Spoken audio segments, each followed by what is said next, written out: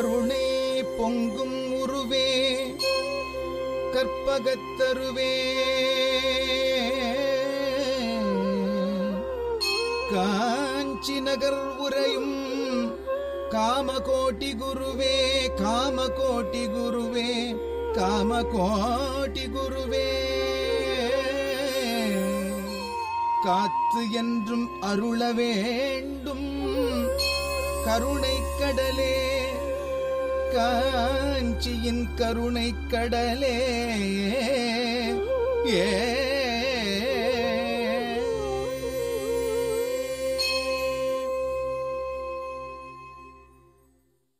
பொதிகை தொலைக்காட்சி நேயர் பெருமக்களுக்கு என்னுடைய அன்பு வணக்கம். காஞ்சியின் கருணைக்கடல் நிகழ்ச்சியிலே மகாமுனிவருடைய அற்புதமான பல கருத்துக்களை எல்லாம் தினந்தோறும் சிந்தித்து கொண்டிருக்கிறோம். இந்த மண்ணில் ஒரு பெரும் சந்நியாசியாக அவர் வாழ்ந்த காலத்தில் இந்த மானுடம் உய்ய வேண்டும் என்பதற்காக நாள்தோறும் அவர் நமக்காக சிந்தித்து நமக்காக வந்தித்து நமக்காக அவர் ஆற்றிய கடமைகள் எல்லையற்றவை. அவைகளுடைய பதிவுகளிலே இருந்துதான் தினந்தோறும் இன்றைக்கு அவர் குறித்த மேலான சிந்தனைகளுக்கு நாம் ஆளாகி கொண்டிருக்கிறோம். குறிப்பாக இன்றைய தினம் காஞ்சி முனிவர் வாயிலாக ஒரு நல்ல தகவல் ஒன்றை தெளிவாக நாம் தெரிந்து கொள்ள இருக்கிறோம். பொதுவாக ஒவ்வொரு ஹிந்துவும் தன்னுடைய வீட்டினுடைய மிகச் சிறந்த ஒரு தருணத்திலே அதாவது புது வீடு கட்டி கிரகப்பிரவேசம் செய்கின்ற தருணத்திலே புதிதாக தொழில் தொடங்குகின்ற தருணத்திலே அடுத்து வீட்டிலே மங்கள நிகழ்ச்சிகள். இந்த வகை சார்ந்து வேறு எதுவாக இருந்தாலும் இது போன்ற செய்கின்ற தருணத்திலே எல்லாம் கணபதி ஹோமம் செய்வது என்கின்ற ஒரு விஷயத்தை நாம் கேள்விப்பட்டிருப்போம். இந்த கணபதி ஹோமம் என்பது எதற்காக? இதை எதற்காக செய்ய வேண்டும்? இதற்கு பின்னாலே என்ன அப்படி ஒரு விஷயம் இருக்கிறது என்கின்ற விஷயம் பல பேருக்கு தெரியாது. சொல்லப்போனால் இந்த கணபதி ஹோமத்தை செய்து வைக்கின்ற சாஸ்திரிகள் இருக்கிறார்களே அவர்களுக்கு அதை எப்படி செய்ய வேண்டும் என்று வேண்டுமானால் தெரிந்திருக்கலாம். அதை செய்வதனால் நாம் ஒரு நல்ல ஆன்மீக கடமையை செய்கிறோம். அது நமக்கு நல்லது என்கின்ற அளவில் மட்டும்தான் எல்லோருக்கும் தெரியுமே அன்றி அதற்கு அப்பாற்பட்டு நுட்பமாக கணபதி ஹோமம் என்கின்ற ஒரு விஷயத்திற்கு பின்னாலே இருக்கக்கூடிய பொருள் இருக்கிறதே அது அநேகம் பேருக்கு தெரியாது. நான் இந்த இடத்துல எல்லோரையும் சொல்லவில்லை. இன்றைக்கு நிறைய ஆன்மீக பாதைக்கு இன்றைக்கு வந்திருக்கின்ற பல இளையவர்கள் இன்றைக்கு அடிவொற்றி நடக்கின்றவர்களாக இருக்கிறார்கள். அவர்களுக்கு முன்னாலே இருக்கின்றவர்கள் அவர்களுக்கு என்ன சொல்லிக் கொடுக்கின்றார்களோ அதை அப்படியே பின்பற்றுகின்றவர்களாக அவர்கள் இருக்கின்றார்கள். ஏன் எதற்கு எப்படி என்கின்ற கேள்விகளை கேட்டு விளங்கி கொண்டு ஒரு விஷயத்தை அணுகுவது என்பது ஒரு விதம். அப்படி இல்லாமல் போக போக பார்த்து புரிந்து கொள்ளலாம் என்கின்ற விதத்திலே பின்பற்றுவது என்கின்றது இன்னொரு விதம். இதில் இந்த போக போக பார்த்து கொள்ளலாம் என்கின்ற எண்ணத்தின் அடிப்படையில் செல்கின்றவர்கள் தான் மிக அதிகமாக இருக்கின்றார்கள். அவர்களுக்கெல்லாம் இன்றைக்கு நான் சொல்லப் போகிற விஷயம் நிச்சயமாக ஒரு ஆச்சரியத்தையும் ஒரு பெரிய தெளிவையும் தரும் என்பதில் எனக்கு எந்த சந்தேகமும் இல்லை. எதற்காக கணபதி ஹோமம் செய்ய வேண்டும்? கணபதி ஹோமம் என்றால் என்ன? என்கின்ற ஒரு விஷயத்தை மகாபெரிவர் அவர்கள் அத்தனை துல்லியமாக சொல்லியிருக்கிறார். அவர் சொன்ன அந்த செய்தியை நான் வாசித்து அறிந்த நிலையில் எனக்குள்ளே பிரமிப்பு மட்டுமல்ல நெடுநேரம் நான் அது குறித்தே சிந்தித்து கொண்டிருந்தேன். எனக்கே அதில் இருக்கக்கூடிய இத்தனை நுட்பமான சங்கதிகள் எனக்கே தெரியாத ஒன்று. அது மட்டுமல்ல அந்த செய்தியை கேள்விப்பட்ட அத்தனை சங்கதிகளும் எனக்குள்ளே இறங்கிய மாத்திரத்தில் வெகு சீக்கிரத்தில் ஒரு கணபதி ஹோமத்தை என்னுடைய இல்லத்திலே செய்ய நான் ஆசைப்பட்டேன். ஏனென்றால் அதற்குள்ளே இருக்கக்கூடிய அதனுடைய சிறப்பு அப்படிப்பட்டது. அதை பொதுவாக இன்றைக்கு ஒரு சாஸ்திரிகளை அழைத்து நீங்கள் அவரிடம் எதற்காக கணபதி ஹோமம் செய்ய வேண்டும் என்று கேட்டால் அவர் சுருக்கமாக சொல்லுவார். நம்முடைய சாஸ்திரத்திலே சொல்லி இருக்கிறது இதை செய்வது நல்லது. எந்த ஒரு நல்ல காரியத்தையும் கணபதியை வழங்கிவிட்டு வணங்கிவிட்டு தொடங்க வேண்டும் என்பார்கள். அந்த வகையில் மிகப்பெரிய பூஜைகளை கூட கணபதி ஹோமம் செய்துவிட்டு தொடங்குவது என்பது மிகச் சிறந்தது என்று அவர்கள் மேலோட்டமாக அவர்கள் சொல்லுவார்கள். அதற்கு மேல் இவர்களும் அதை கேட்பதில்லை. அது மட்டுமல்ல ஹோமம் நடக்கும் பொழுது அந்த ஹோமத்திலே பெரிய அளவிலே கவனம் இல்லாமல் நாம் பணம் கொடுத்து செலவழித்து இதை செய்கிறோம். அதை அவர்கள் செய்து கொண்டிருக்கிறார்கள். அந்த வகையில் நம்முடைய கடமை முடிந்துவிட்டது. அவர்கள் ஹோமம் செய்து முடித்த பிறகு பிரசாதம் என்று ஒன்றை தருவார்கள். அதை வாங்கி கொள்ள வேண்டியது. இவ்வளவுதான் இதில் நம்முடைய பங்கு. என்று இயந்திரம் போல இந்த விஷயத்தை அணுகுகின்றவர்களாக நம்மில் பலர் இருக்கிறோம். இன்றைக்கு நீங்கள் நிறைய இல்லங்களுக்கு குறிப்பாக கிரகப்பிரவேசம் செய்கின்ற வீடுகளுக்கு பல தொழில் தொடங்குகின்ற ஸ்தாபனங்களுக்கு நீங்கள் சென்றீர்களே ஆனால் அங்கே ஒரு பக்கம் ஹோமகுண்டம் புகைந்து கொண்டிருக்கும். சுற்றி அதை நிகழ்த்துகின்ற வேத விற்பனர்கள் அமர்ந்து கொண்டு அவர்கள் பாட்டும் மந்திரம் சொல்லி கொண்டிருப்பார்கள். அவர்களில் கூட சிலர் நீங்கள் இதை தொடருங்கள் நான் சற்று ஓய்வெடுத்து விட்டு வருகிறேன் என்பது போல சற்று ஒதுங்கி சென்று கைபேசியிலே யாருடனோ பேசிவிட்டு திரும்ப வந்து இணைந்து கொள்வார் ஒருவர் போனால் இன்னொருவர் வந்து சேர்ந்து கொள்வார் இப்படி இந்த ஹோமம் என்கின்ற ஒரு அற்புதமான விஷயம் இருக்கிறதே அது இன்றைக்கு சரியான புரிதல் இல்லாத காரணத்தினாலே இன்றைக்கு அதை ஏதோ பிடித்து கொண்டிருக்கிறோம் அவ்வளவுதான். அதை எவ்வளவு புரிந்து கொண்டிருக்கிறோம்? அது எதை அது எத்தனை அதி அற்புதமானது? அதற்கு பின்னாலே எந்த அளவிற்கு நம்மை மேம்படுத்தக்கூடிய சக்தி இருக்கிறது? நம்முடைய சான்றோர் பெருமக்கள் எந்த அளவிற்கு நாம் எதிர்காலத்தின் பொருட்டு இதையெல்லாம் கொடுத்து விட்டு போயிருக்கிறார்கள் என்கின்ற பட்டறிவே இல்லாமல் இன்றைக்கு இதை போன்ற விஷயங்களிலே நாம் இறங்கி செயல்பட்டு கொண்டிருக்கிறோம்.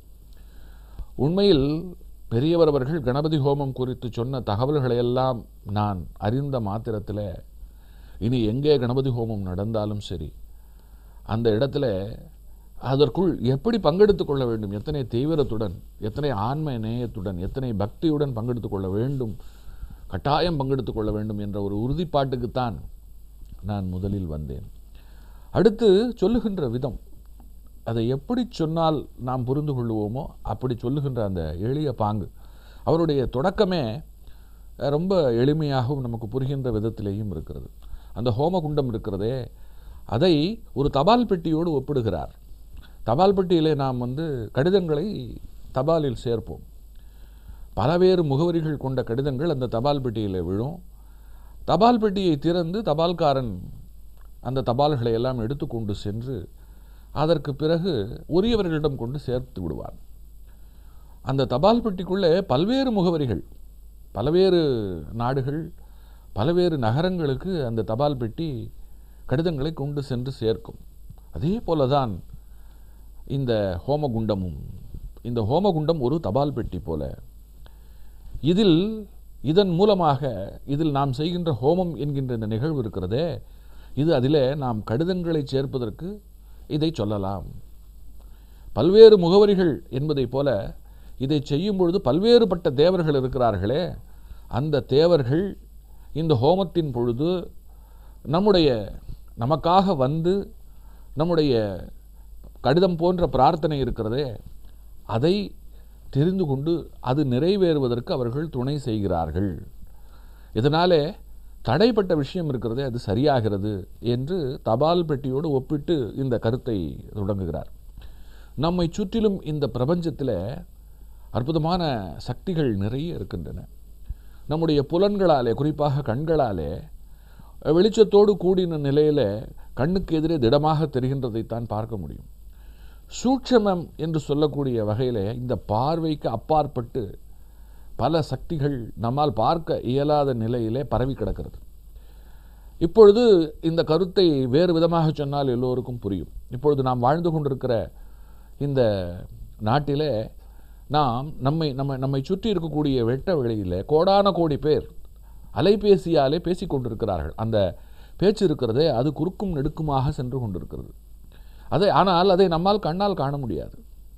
நம்முடைய காதுகளிலே அந்த சப்தம் இருக்கிறதே அது இடைஞ்சலாக விழுவதும் இல்லை அது சப்தமற்ற சப்தமாக ஒரு அலை வடிவமாக அது இந்த பிரபஞ்ச வெளியிலே பரவி திரிந்து கொண்டிருக்கிறது. கோடான கோடி பேர் பேசிக்கொண்டிருக்கிறார்கள் அந்த பேச்சு அலை மட்டுமல்ல ஒளி அலை இன்றைக்கு தொலைக்காட்சியிலே நூற்றுக்கணக்கான சேனல்கள் அதில் நூற்றுக்கணக்கான காட்சிகள் இந்த காட்சிகள் எல்லாமும் கூட இந்த வெளியிலே பரவிக்கொண்டே இருக்கிறது. அதை நம் வீட்டிலே இருக்கக்கூடிய கருவிக்குள்ளே நாம் பிடித்து வடித்து நாம் கண்களாலே பார்க்கிறோம். ஆக நம்மை சுற்றி இருக்கக்கூடிய வெளியில் கோடான கோடி பேரினுடைய குரலும் கோடான கோடி சேனல்களுடைய ஒளி கதிர்களும் பரவி கொண்டிருக்கிறது என்று சொன்னால் அதை நம்மால் பார்க்க முடியவில்லை என்பதற்காக அதை பொய் என்று நாம் சொல்ல மாட்டோம். ஏனென்று சொன்னால் அப்படி இல்லை என்று சொன்னால் நம்மால் தொலைக்காட்சி பார்க்க முடியாது. நம்மால் கைபேசியையோ தொலைபேசியோ பயன்படுத்தி பேச முடியாது என்பது நிதர்சனம். இது இன்றைய நிலை. ஆனால் என்றும் இருக்கின்ற ஒரு நிலை என்ன என்றால் இதே வடிவத்திலே இந்த நிலையில் நம்மால் பார்க்க இயலாத நிலையில் பல சக்தி விண்ணகத்தே இருக்கிறது. இந்த ஹோமங்கள் இருக்கிறது இதன் வாயிலாக அந்த சக்தியோடு நமக்கு தொடர்பு ஏற்படுகிறது. அந்த சக்தியை பெற்று நாம் பெரிய பயன்பாட்டிற்கு ஆளாக தொடங்குகிறோம். குறிப்பாக விண்ணில் இப்பொழுது இங்கே இன்சாட் என்று ஒன்றை அனுப்பியிருக்கிறோம். அது விண்ணிலே இருக்கிறது. அந்த இன்சாட்டிலே ஒரு கோளாறு என்று வைத்துக்கொள்வோம் அதை இங்கிருந்து கொண்டே எப்படி சரி செய்கிறார்களோ அது போல மண்ணிலிருந்து கொண்டு இந்த ஹோமத்தின் வாயிலாக வானவெளியில் இருக்கக்கூடிய தேவர்களோடு நாம் தொடர்பு கொண்டு நமக்கு தேவையான விஷயங்களை கேட்டு பெறுவது என்கின்ற ஒரு வடிவத்தை ஹோமம் யாகம் என்கின்ற விதத்திலே நம்முடைய ரிஷிகளும் முனிவர்களும் வடிவமைத்து தந்திருக்கின்றார்கள் என்று பெரியவர்கள் குறிப்பிடுகிறார். அந்த வகையில் ரிஷிகள் நமக்கு இப்படிப்பட்ட நிலையிலே இருந்து உதவி கொண்டிருக்கின்றார்கள். அந்த வகையிலே வடிவமைக்கப்பட்ட இந்த கணபதி ஹோமம் இருக்கிறதே இதை முதலில் உருவாக்கியவருடைய பெயர் கனக ரிஷி இதை செய்து இந்த ஹோமத்தை செய்து அந்த கணநாதனுடைய அருள் இருக்கிறதே. அந்த அருளை நமக்கு வந்து கிடைக்கும்படி செய்தவர் வந்து காஷ்யபர் என்கின்றவர். ஆக கணபதி ஹோமம் என்று சொன்ன மாத்திரத்தில் நமக்கு இவர்கள் இருவருடைய நினைப்பும் வர வேண்டும். அதாவது கனகரிஷி தான் இதை உருவாக்கினார். காஷ்யபர் இதை செயல்படுத்தினார். இப்படி இவர்கள் மூலமாக நமக்கு அருளப்பட்ட ஒரு பெரிய கொடைதான் இந்த நிகழ்வு. கணபதி ஹோமம் என்கின்ற சாஸ்திர நிகழ்வு. இதில் இந்திராய சுவாகா என்று சொல்லி நாம் இந்திரனை அழைக்கும் பொழுது இந்திரன் அந்த இடத்திலே வருகிறான். வருகிறான் என்று சொல்லுவதை விட பெரியவர் எப்படி சொல்லுகிறார் தெரியுமா? தேவர்களை அழைத்தால் அவர்கள் வந்தாக வேண்டும். வந்து நாம் தருகின்ற ஆகூதி இருக்கிறதே அதை பெற்றுக்கொண்டு அதற்கு பதிலாக நாம் சங்கல்பித்து கொண்டு அவர்களிடம் வேண்டுகின்ற விஷயம் இருக்கிறதே அதை அவர்கள் தந்தாக வேண்டும். இப்படித்தான் இந்த விஷயம் வரையறை செய்யப்பட்டிருக்கிறது. அக்னி சாட்சியாக இந்த விஷயத்தை நாம் செய்யும் பொழுது அந்த அக்னியின் மூலமாக இந்த விஷயம் நடக்கிறது என்று அறுதியிட்டு உறுதியாக இந்த தகவலை சொல்லுகிறார். அடுத்தது இந்த விஷயத்திற்கு பின்னாலே குறிப்பாக எத்தனையோ ஹோமங்கள் இருக்கிறது. ஹோமம் என்று சொன்னால் நிறைய சொல்லிக்கொண்டே போகலாம். கணபதி ஹோமம் வந்து ஹோமங்களில் முதலான ஹோமம். அதே சமயம் நிறைய இப்போ நிறைய ஒரு சிலருக்கு வந்து கடன் உபாதை இருக்கும். அதை நீக்குவதற்கு வந்து அதை ரி- ருண விமோச்சன நீக்க ஹோமம் என்று ஒன்று இருக்கிறது. அடுத்து உடல் நலம் மனநலம் ஆரோக்கியம் மற்றும் எல்லா விதமான செல்வங்களும் பெறுவதற்கு ஸ்ரீ சுதர்சன ஹோமம் இருக்கிறது. அடுத்து தன்வந்திரி ஹோமம் என்று ஒன்று இருக்கிறது. இப்படி நிறைய நாம் ஹோமங்களை நாம் நிறைய வரிசைப்படுத்தலாம். ஆனால் அத்தனை ஹோமங்களிலும் முதலான ஒரு தலைசிறந்த ஹோமம் கணபதி ஹோமம். இந்த ஹோமத்தின் பின்னாலே தெரிந்து கொள்வதற்கு ஒரு கதையும் இருக்கிறது. அது கணபதிக்கு ஈசனே பணிந்த ஒரு வரலாறு. ஈசன் ஈசனுடைய புத்திரன் தான் கணபதி. ஆனால் ஈசன் நமக்கெல்லாம் வழிகாட்டும் விதமாக இந்த ஹோமத்தின் சிறப்பை நாமெல்லாம் புரிந்து கொள்ள வேண்டும் என்கின்ற விதமாக ஈசன் தன்னை தாழ்த்தி உலகத்திற்கு சொன்ன பாடம் அதுதான். என்ன அது? நாளை சிந்திப்போம்.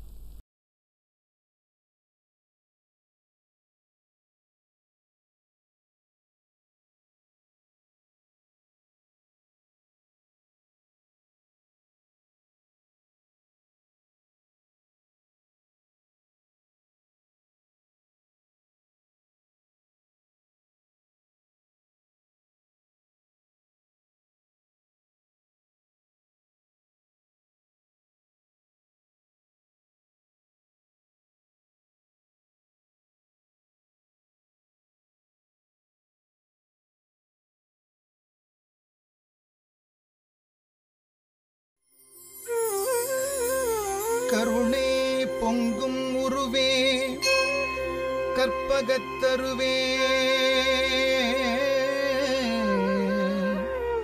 காஞ்சி நகர் உரையும் காமகோட்டி குருவே காமகோட்டி குருவே காமகோட்டி குருவே. காத்து என்றும் அருள வேண்டும். கருணை கடலே காஞ்சியின் கருணை கடலே. ஏ.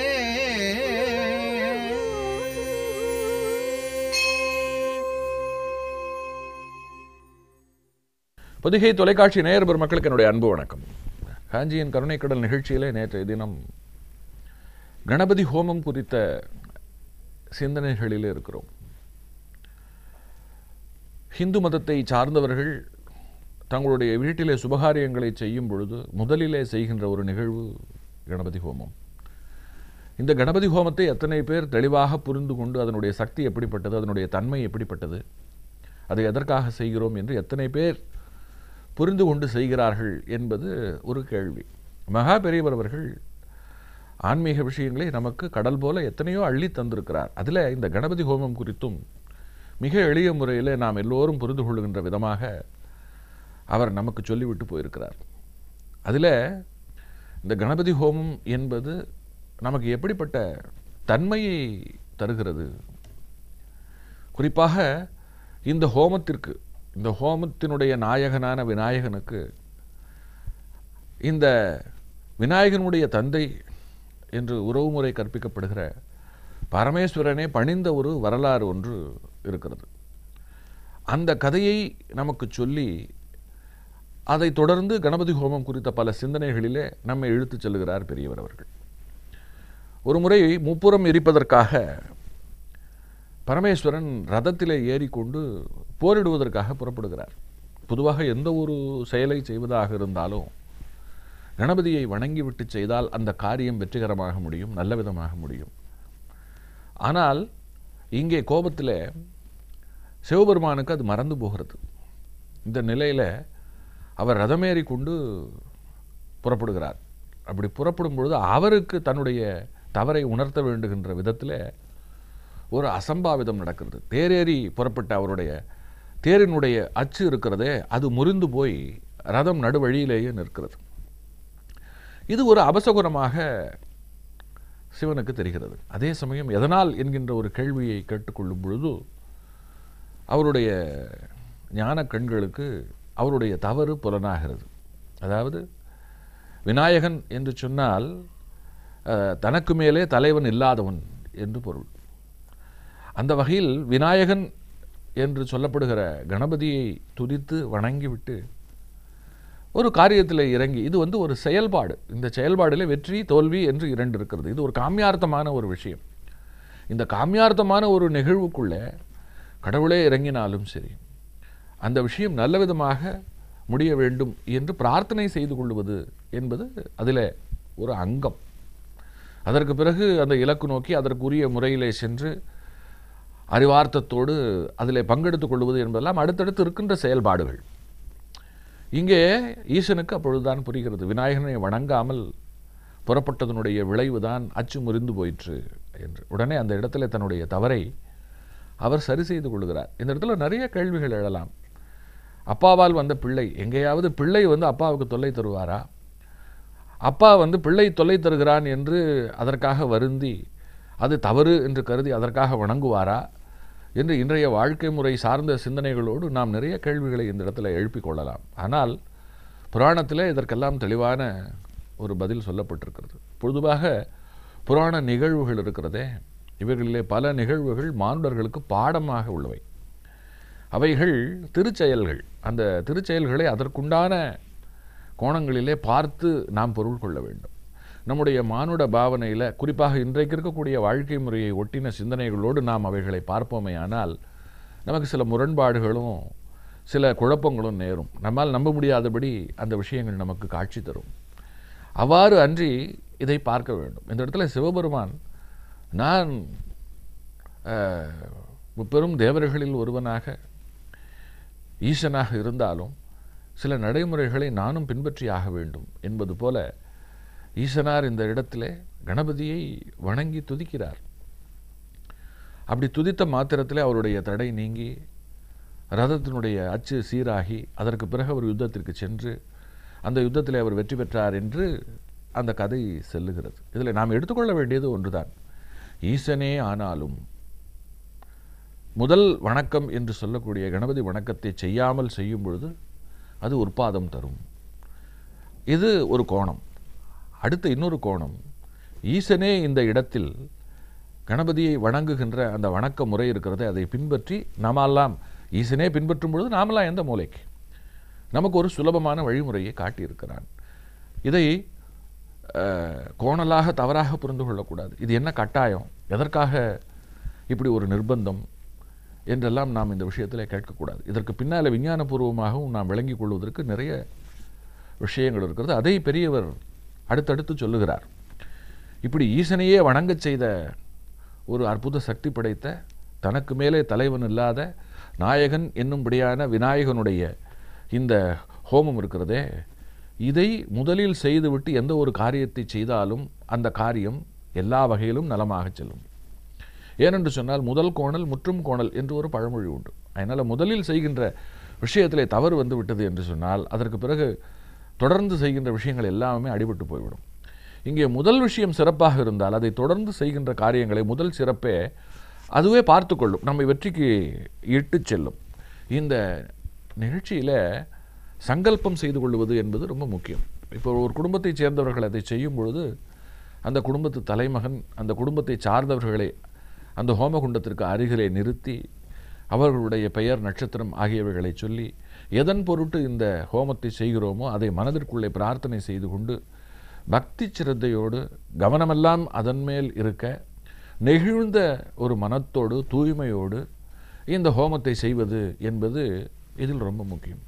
இப்படி இந்த ஹோமத்தை செய்யும் பொழுது இதில் ஆகுதியிலே தீயிலே நாம் பல பொருட்களை போடுவோம். அதற்கு ஆகுதி என்று பெயர். முதலிலே நெய். அதற்கு பிறகு ஒவ்வொன்றாக அதற்குள்ளே போடுவோம்.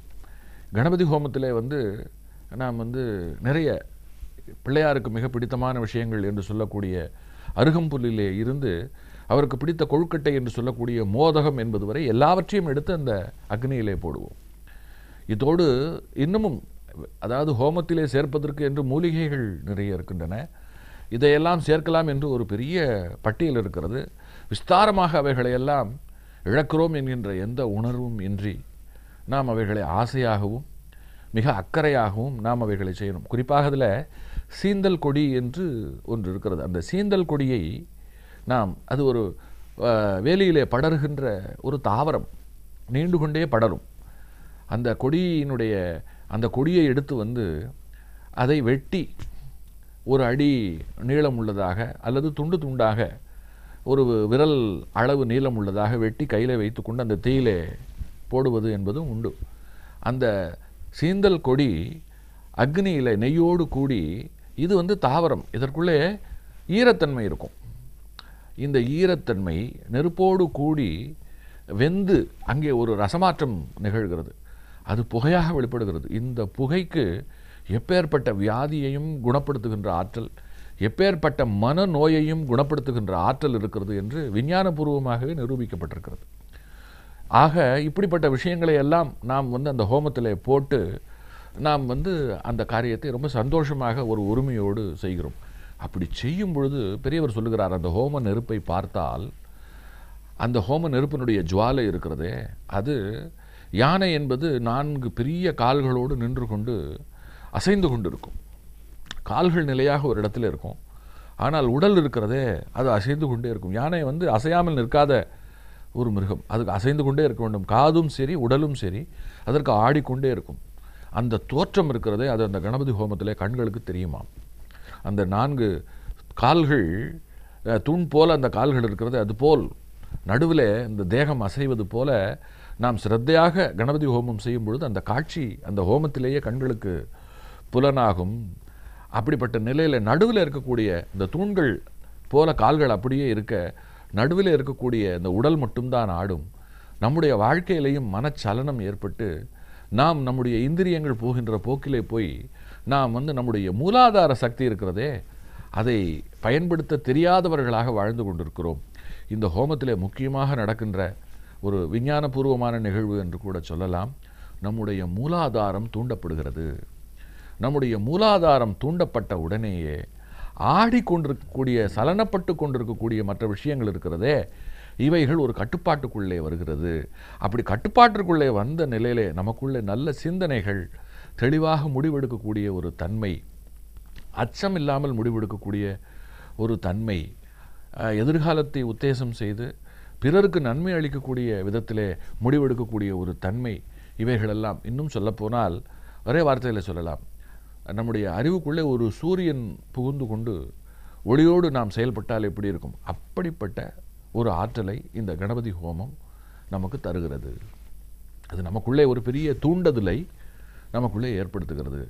அந்த வேள்வியின் பொழுது எழுகின்ற புகைக்கும் சரி வேள்வியில் உருவாகின்ற அந்த தணலுக்கும் சரி வேள்வியிலே நாம் பார்க்கின்ற அந்த காட்சிக்கும் சரி இத்தனை ஆற்றல். அடுத்து அங்கு உச்சரிக்கப்படுகின்ற மந்திர ஒலி இந்த ஒலி நம்ம நம்முடைய உடம்பை சுற்றி இருக்கக்கூடிய ஆறாவிலே பலவிதமான நல்ல மாற்றங்களை ஏற்படுத்தி அதுவும் நம்மை வந்து ஒரு கட்டுக்குள்ளே கொண்டு வந்து வைக்கிறது என்று இந்த ஹோமம் சார்ந்த பல அரிய தகவல்களை எல்லாம் சொல்லிக்கொண்டே போகிறார். சொல்லிவிட்டு இந்த ஹோமத்தை எப்பொழுது செய்தால் விசேஷம் என்கின்ற ஒரு அரிய தகவலையும் சொல்லுகிறார். குறிப்பாக வெள்ளிக்கிழமை கணபதி ஹோமம் செய்வதற்கு மிக ஏற்ற ஒரு நாள். அடுத்து சுக்லபட்ச சதுர்த்தி என்று பிள்ளையாருக்கு உகந்த ஒரு தினம் வருகிறது. அந்த தினத்திலே செய்வதும் மிகச்சிறப்பு ஆடி வெள்ளிகளில் ஆடி மாதம் வருகிற வெள்ளிக்கிழமைகளிலே கணபதி ஹோமம் செய்து பிரார்த்தனை செய்து கொள்வது என்பது வாழ்க்கையில் நமக்கு இருக்கக்கூடிய பலவிதமான தடைகளை எல்லாம் நீக்கிவிடும். இப்போ சிலர் ஏதாவது ஒரு தொழில் தொடங்க வேண்டும் என்று ஆவலாக இருப்பார்கள். அதற்காக அவர்கள் பணம் திரட்டுவதற்கு முயற்சி செய்வார்கள். ஒரு தொகைதான் கைக்கு வரும். ஒரு பாதி வந்திருக்கும் மறுபாதி வந்திருக்காது. ஒருவேளை பணம் கிடைத்து விட்டாலும் தொழில் தொடங்குவதற்கான இடம் கிடைப்பதில் ஏதாவது ஒரு தடை இருக்கும். இடம் கிடைத்து விடும் பணமும் இருக்கும். ஆனால் அங்கே தொழில் தொடங்க முடியாதபடி உடல் நலம் பாதிக்கப்பட்டு படுத்த படுக்கையாகி விடுவோம். இப்படி தடை என்பது ஒரு மனித வாழ்க்கையில் பல விதங்களிலே வரலாம். அதற்கு பின்னாலேயும் சரியான காரணங்கள் எல்லாம் இருக்கிறது. இந்த தடைகளை எப்படி வெற்றி கொள்ளுவது? இந்த தடை இப்படியெல்லாம் இயற்கையாக ஒன்று தொட்டு ஒன்று ஒன்று தொட்டு ஒன்று என்று தடைகள் வருகிறது என்று சொன்னாலே நம்முடைய ஆற்றல் இருக்கிறதே நம்முடைய திரேக ஆற்றல் நம்முடைய நமக்கென்று வாழுகின்ற காலத்தில் நமக்கென்று இருக்கக்கூடிய சக்தியால் நாம் குன்றிய நிலையில் இருக்கிறோம் என்பது தான் பொருள். நான் சற்று முன்பு சொன்னது போல இந்த பிரபஞ்சத்தில் பல்வேறு ஆற்றல் இருக்கிறது. அந்த ஆற்றலை நமக்கு பயன்படுத்த தெரியாத நிலையிலே நாம் இருக்கிறோம். அந்த ஆற்றலை பயன்படுத்த சொல்லித் தருவதுதான் வேள்விகள். இப்பொழுது இந்த ஹோமம் செய்யும் பொழுது அந்த ஆற்றலோடு நமக்கு தொடர்பு ஏற்படுகிறது. அந்த ஆற்றலோடு தொடர்பு ஏற்பட்ட மாத்திரத்திலே தடைகள் நீங்குகிறது. தடைகள் நீங்கிய நிலையிலே நம்முடைய காரியங்கள் தொடர்ந்து செம்மையாக நடக்கத் தொடங்குகின்றன. இதுதான் கணபதி ஹோமத்திற்கு பின்னால் இருக்கக்கூடிய நுட்பமான விஷயம். ஒவ்வொரு ஹோமத்திற்கு பின்னாலும் அந்த மந்திர சப்தத்திற்கும் அந்த வேள்வியிலே இடுகின்ற ஆகூதிக்கும் ஏற்ப ஒரு அற்புதம் இருக்கிறது. அதில் தலையானதாக கணபதி ஹோமம் இருக்கிறது என்று பெரியவர் அவர்கள் நமக்கு புரிகின்ற விதத்தில் ரொம்ப தெளிவாக விஸ்தாரமாக சொல்லியிருக்கிறார். இது மட்டுமல்ல இதை போல பல அரிய தகவல்கள் நாம் தெரிந்து கொள்வதற்காக நம் முன்னாலே கொட்டி கிடக்கின்றன. தொடர்ந்து சிந்திப்போம்.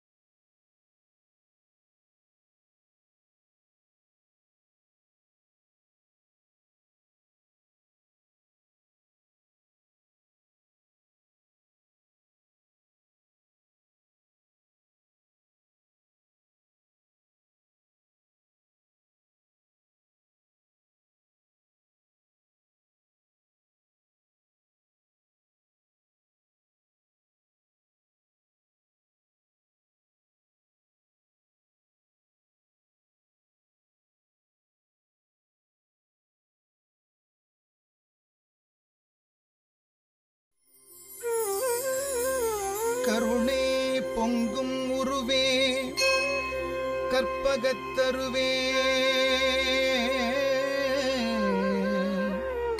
காஞ்சி நகர் உரையும் காமகோட்டி குருவே காமகோட்டி குருவே காமகோட்டி குருவே.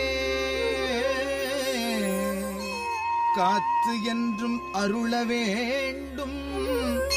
கருணை கடலே காஞ்சியின் கருணை கடலே. ஏ.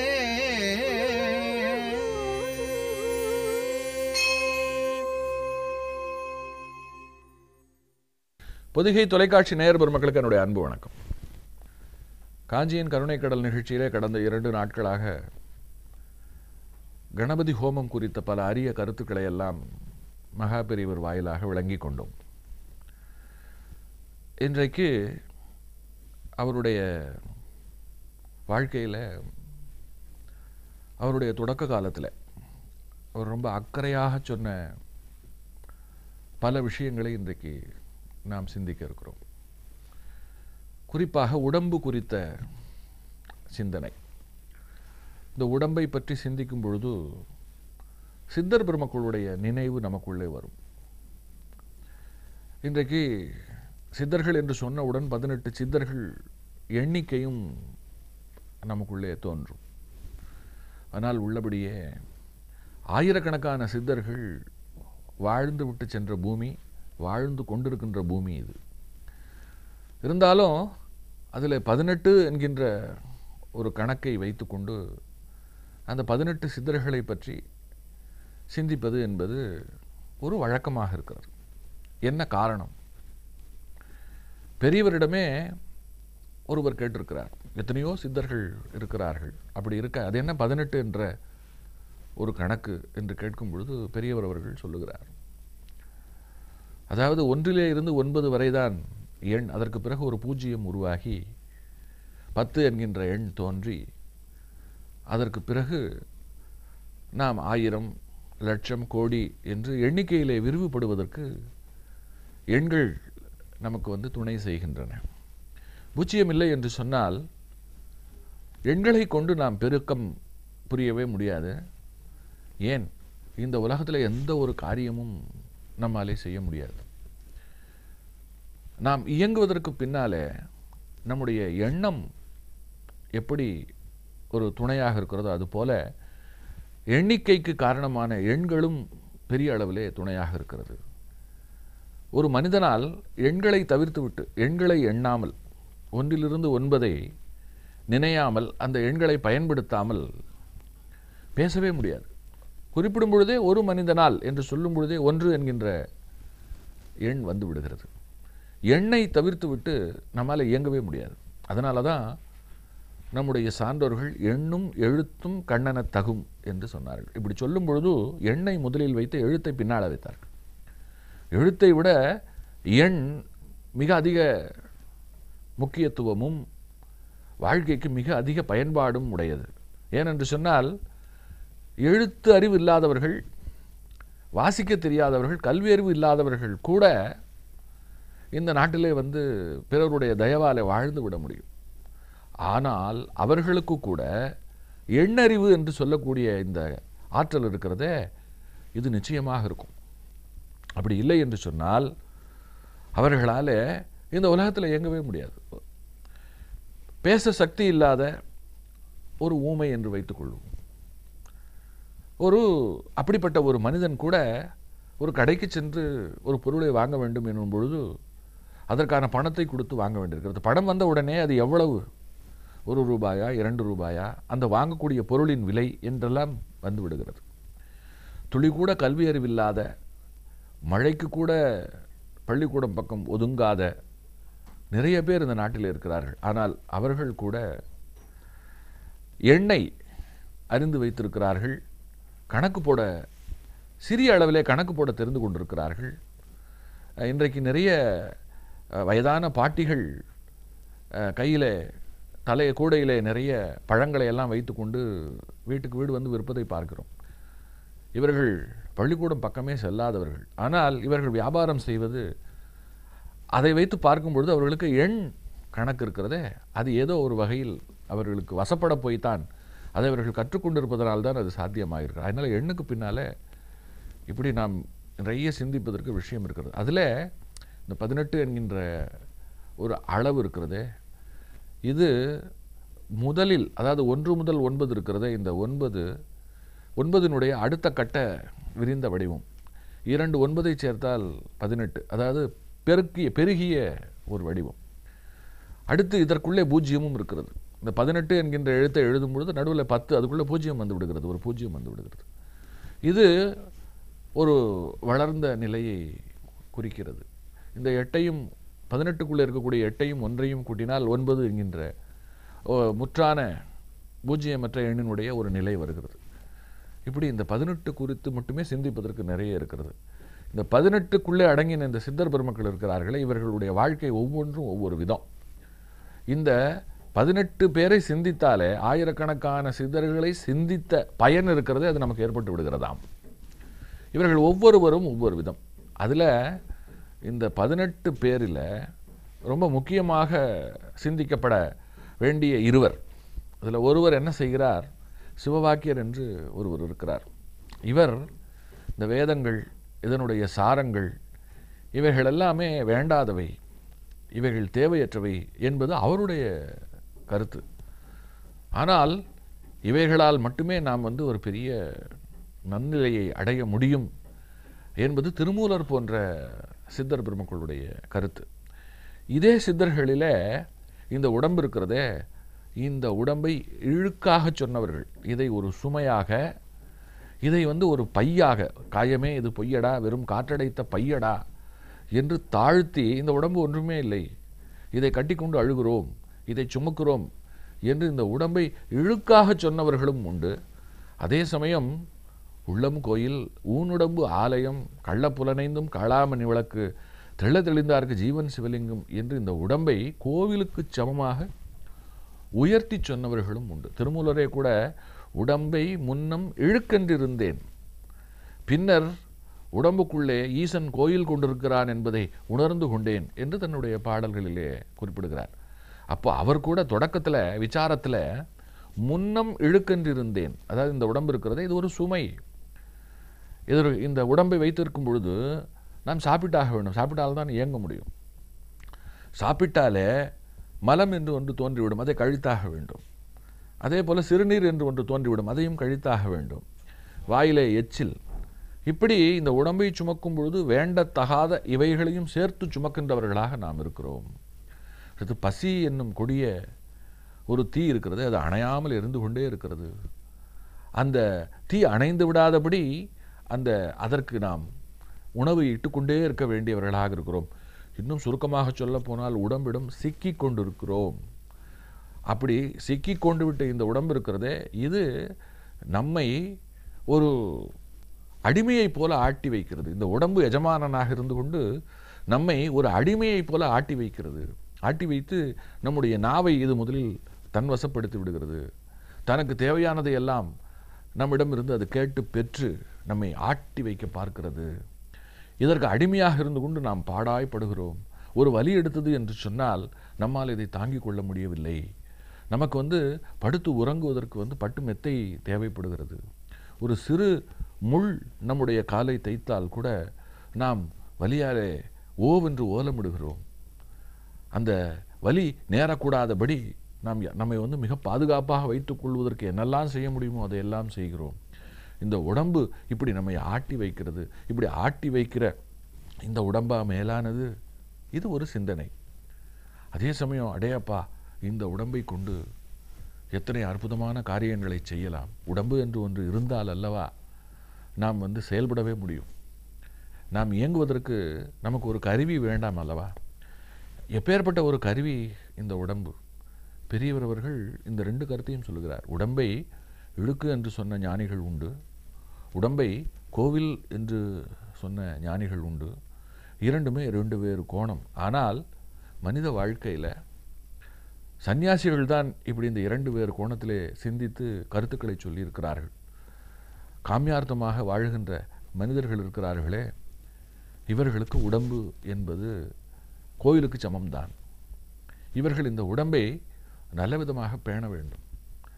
இந்த உடம்பை இவர்கள் அதன் போக்கில் போய் அதற்கு அடிமையாக இருந்து விடாமல் இந்த உடம்பை இவர்கள் தங்களது அடிமை போல வைத்துக்கொண்டு இவர்கள் எஜமானர்களாக இருந்து அதை ஒரு கட்டுப்பாட்டுக்குள்ளே வைத்துக்கொண்டு செயல்பட வேண்டும்.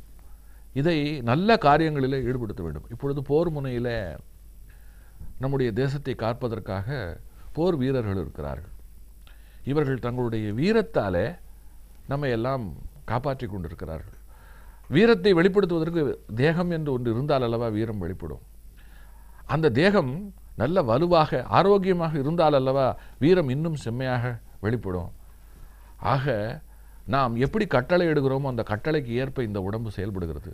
நாம் எப்படிப்பட்ட கட்டளைகளை இட வேண்டும் தெரியுமா? நல்ல கட்டளைகளை இந்த உடம்புக்கு இட வேண்டும். இந்த கண்களால் நல்ல காட்சிகளை பார்ப்பது இந்த காதால் நல்ல விஷயங்களை கேட்பது இந்த வாயாலே நல்ல விஷயங்களை மட்டுமே பேசுவது. இந்த கைகளாலே நல்ல காரியங்களை மட்டுமே செய்வது. இந்த கால்களாலே நல்ல இடங்களுக்கு மட்டுமே சொல்லுவது.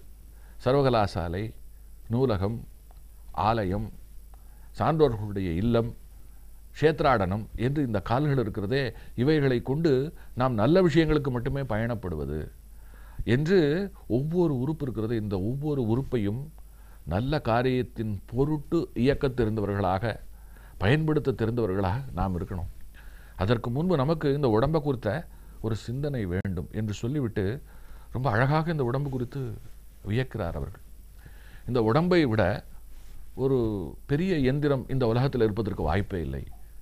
ஒரு எந்திரத்தை இந்த மனிதனால் கண்டுபிடித்து விட முடியாது. எத்தனை தான் அற்புதமான எந்திரத்தை கண்டுபிடித்தாலும் அந்த எந்திரம் இருக்கிறதே அது இந்த உடம்பு என்னும் எந்திரத்திற்கு முன்னாலே கீழானதாகத்தான் இருக்கும். இந்த உடம்புக்குள்ளே அத்தனை அற்புதமான ஆற்றல். அடே அப்பா இந்த உடம்பை அந்த சர்வேஸ்வரன் எத்தனை திட்டமிட்டு படைத்திருக்கிறான். குறிப்பாக ஒவ்வொரு பாகத்தையும் சொல்லி வியக்கிறார். வாய் பேசுகிறது கண் பார்க்கிறது காது கேட்கிறது. இந்த பணியை ஒன்றை ஒன்று மாற்றிக்கொண்டு செய்ய முற்படுவதே இல்லை. வாய் ஒரு நாள் நான் கேட்கிறவனாக இருக்கிறேன். காதே நீ பேசுகின்றவனாக இரு என்றெல்லாம் சொல்லி செயல்படுவதே இல்லை. உடம்புக்குள்ளே திடமான எலும்பு என்று ஒன்று இருக்கிறது. அதற்குள்ளே மஜ்ஜை என்று ஒரு ரசம் உள்ளோடி அதை தாங்கி பிடித்து கொண்டிருக்கிறது. அதே போல செல்கள் நிரம்பி இருக்கின்றன. இந்த செல்கள் இருக்கிறதை இவை ஒவ்வொரு நொடியும் இறந்து புது புது செல்கள் தோன்றிக்கொண்டே இருக்கின்றன. அப்படிப்பட்ட இந்த உடம்பு இருக்கிறதே இந்த உடம்பை ஈசன் உரைகின்ற தலம் என்று நாம் கொண்டாடி போற்ற வேண்டும். இந்த உடம்பாலே நாம் நல்ல காரியம் செய்தால் நமக்கு கிடைக்கின்றவையும் நல்லதாக இருக்கும். இந்த உடம்பால் எந்த காரணத்தை கொண்டும் உடம்பை கொண்டு தீயதை நாம் எந்த நிலையிலும் செய்துவிடக்கூடாது என்று உடம்பு குறித்து பெரிய அளவிலே சொல்லிவிட்டு மெல்ல அவர் ஒரு முக்கியமான விஷயத்திற்கு வருகிறார். இன்றைக்கு நிறைய உடம்பு இறந்தவுடன் உயிரற்று போன அந்த சடலம் இருக்கிறதே அதை கட்டிக்கொண்டு எதற்கு நிறைய காரியங்கள் செய்கிறார்கள்? அதுதான் போய்விட்டது அதில் ஒன்றுமே இல்லையே. சாதாரண ஒரு குப்பை இருக்கிறது அதை கூட எரித்து நாம் ஏதாவது செய்யலாம். ஏன்னால் இந்த உடம்பு இருக்கிறது இதை வைத்து கொண்டு அதற்கு கூட இது பயன்படுவதில்லை. இதற்கு எதற்கு இத்தனை காரியங்கள்? குறிப்பாக மரணச் சடங்குகள் இருக்கிறதே அவைகளெல்லாம் எதற்காக என்றங்கின் அந்த கேள்வி இருக்கிறது அதன் அருகிலே வந்து நின்று அது எப்படிப்பட்டது? அந்த சாங்கியங்கள் இருக்கிறதே அவை எதற்காக? அவை நமக்கு என்ன செய்கிறது என்பதை எல்லாமும் அவர் விஸ்தாரமாக சொல்லுகிறார். அது குறித்த சிந்தனைகளை நாளைய தினம் மேற்கொள்வோம்.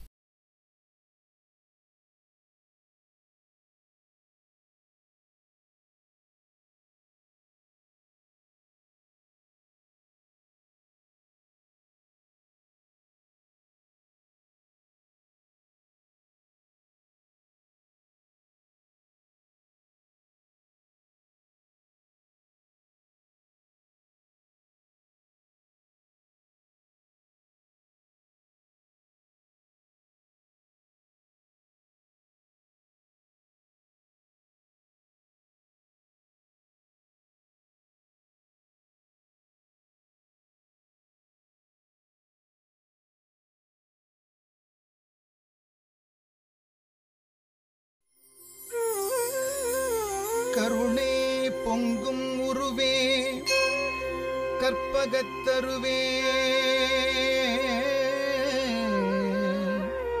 காஞ்சி நகர் உரையும் காமகோட்டி குருவே காமகோட்டி குருவே காமகோட்டி குருவே.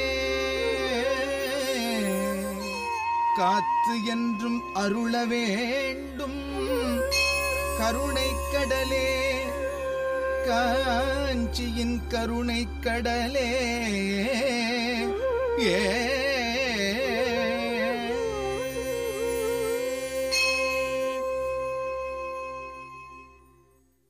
பொதுகை தொலைக்காட்சி நேயர் பெருமக்களுக்கு என்னுடைய அன்பு வணக்கம்.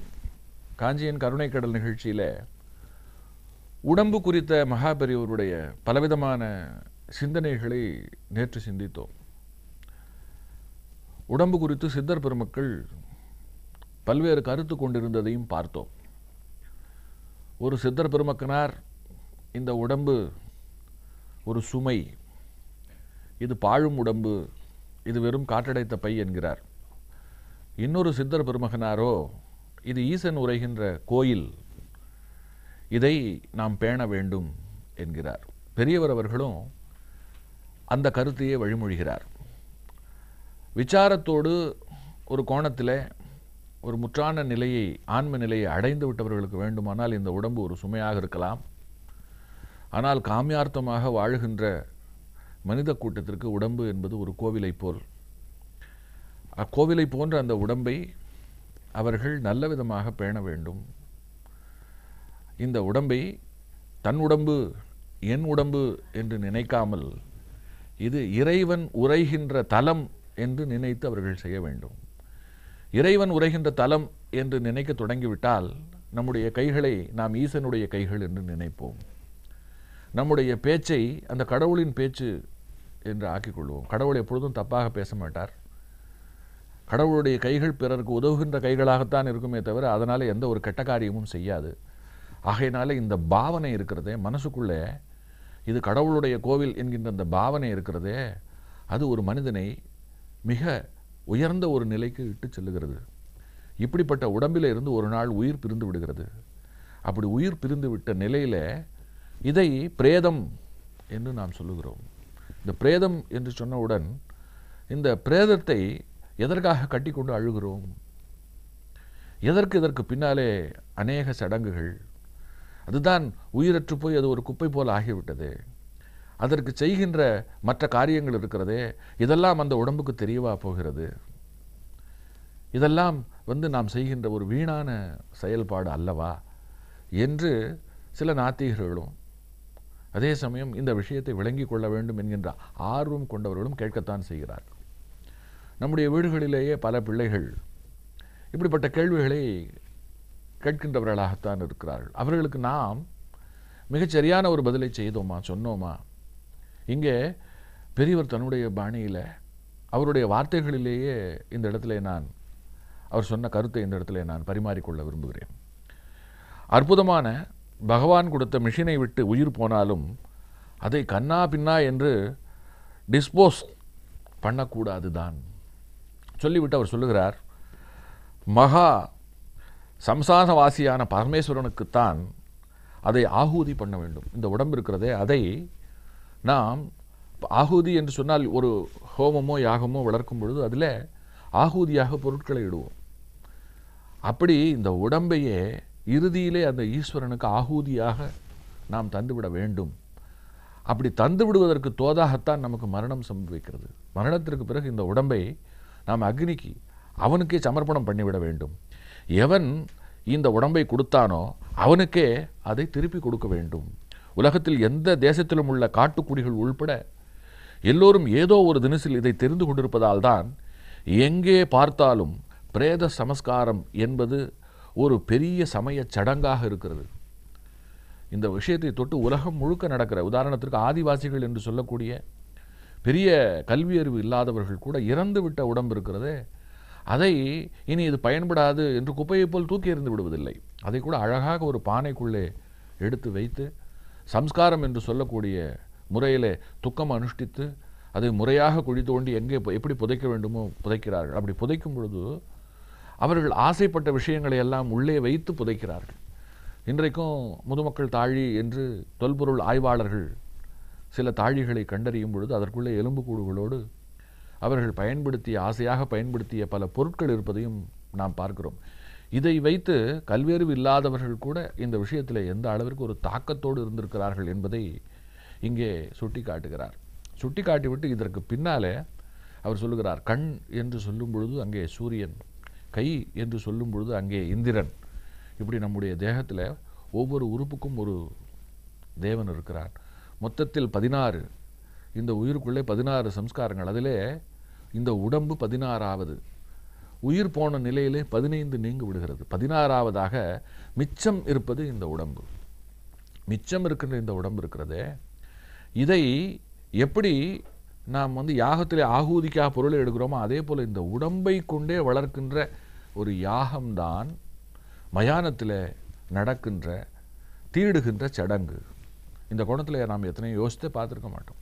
எப்பேற்பட்ட ஒரு மேலான பார்வை. பிணத்துக்கு தீடுதல் மயானம் என்று சொன்னாலே ஒரு அருவருப்பும் ஒரு அச்சமும் நமக்கு வந்து விடுகிறது.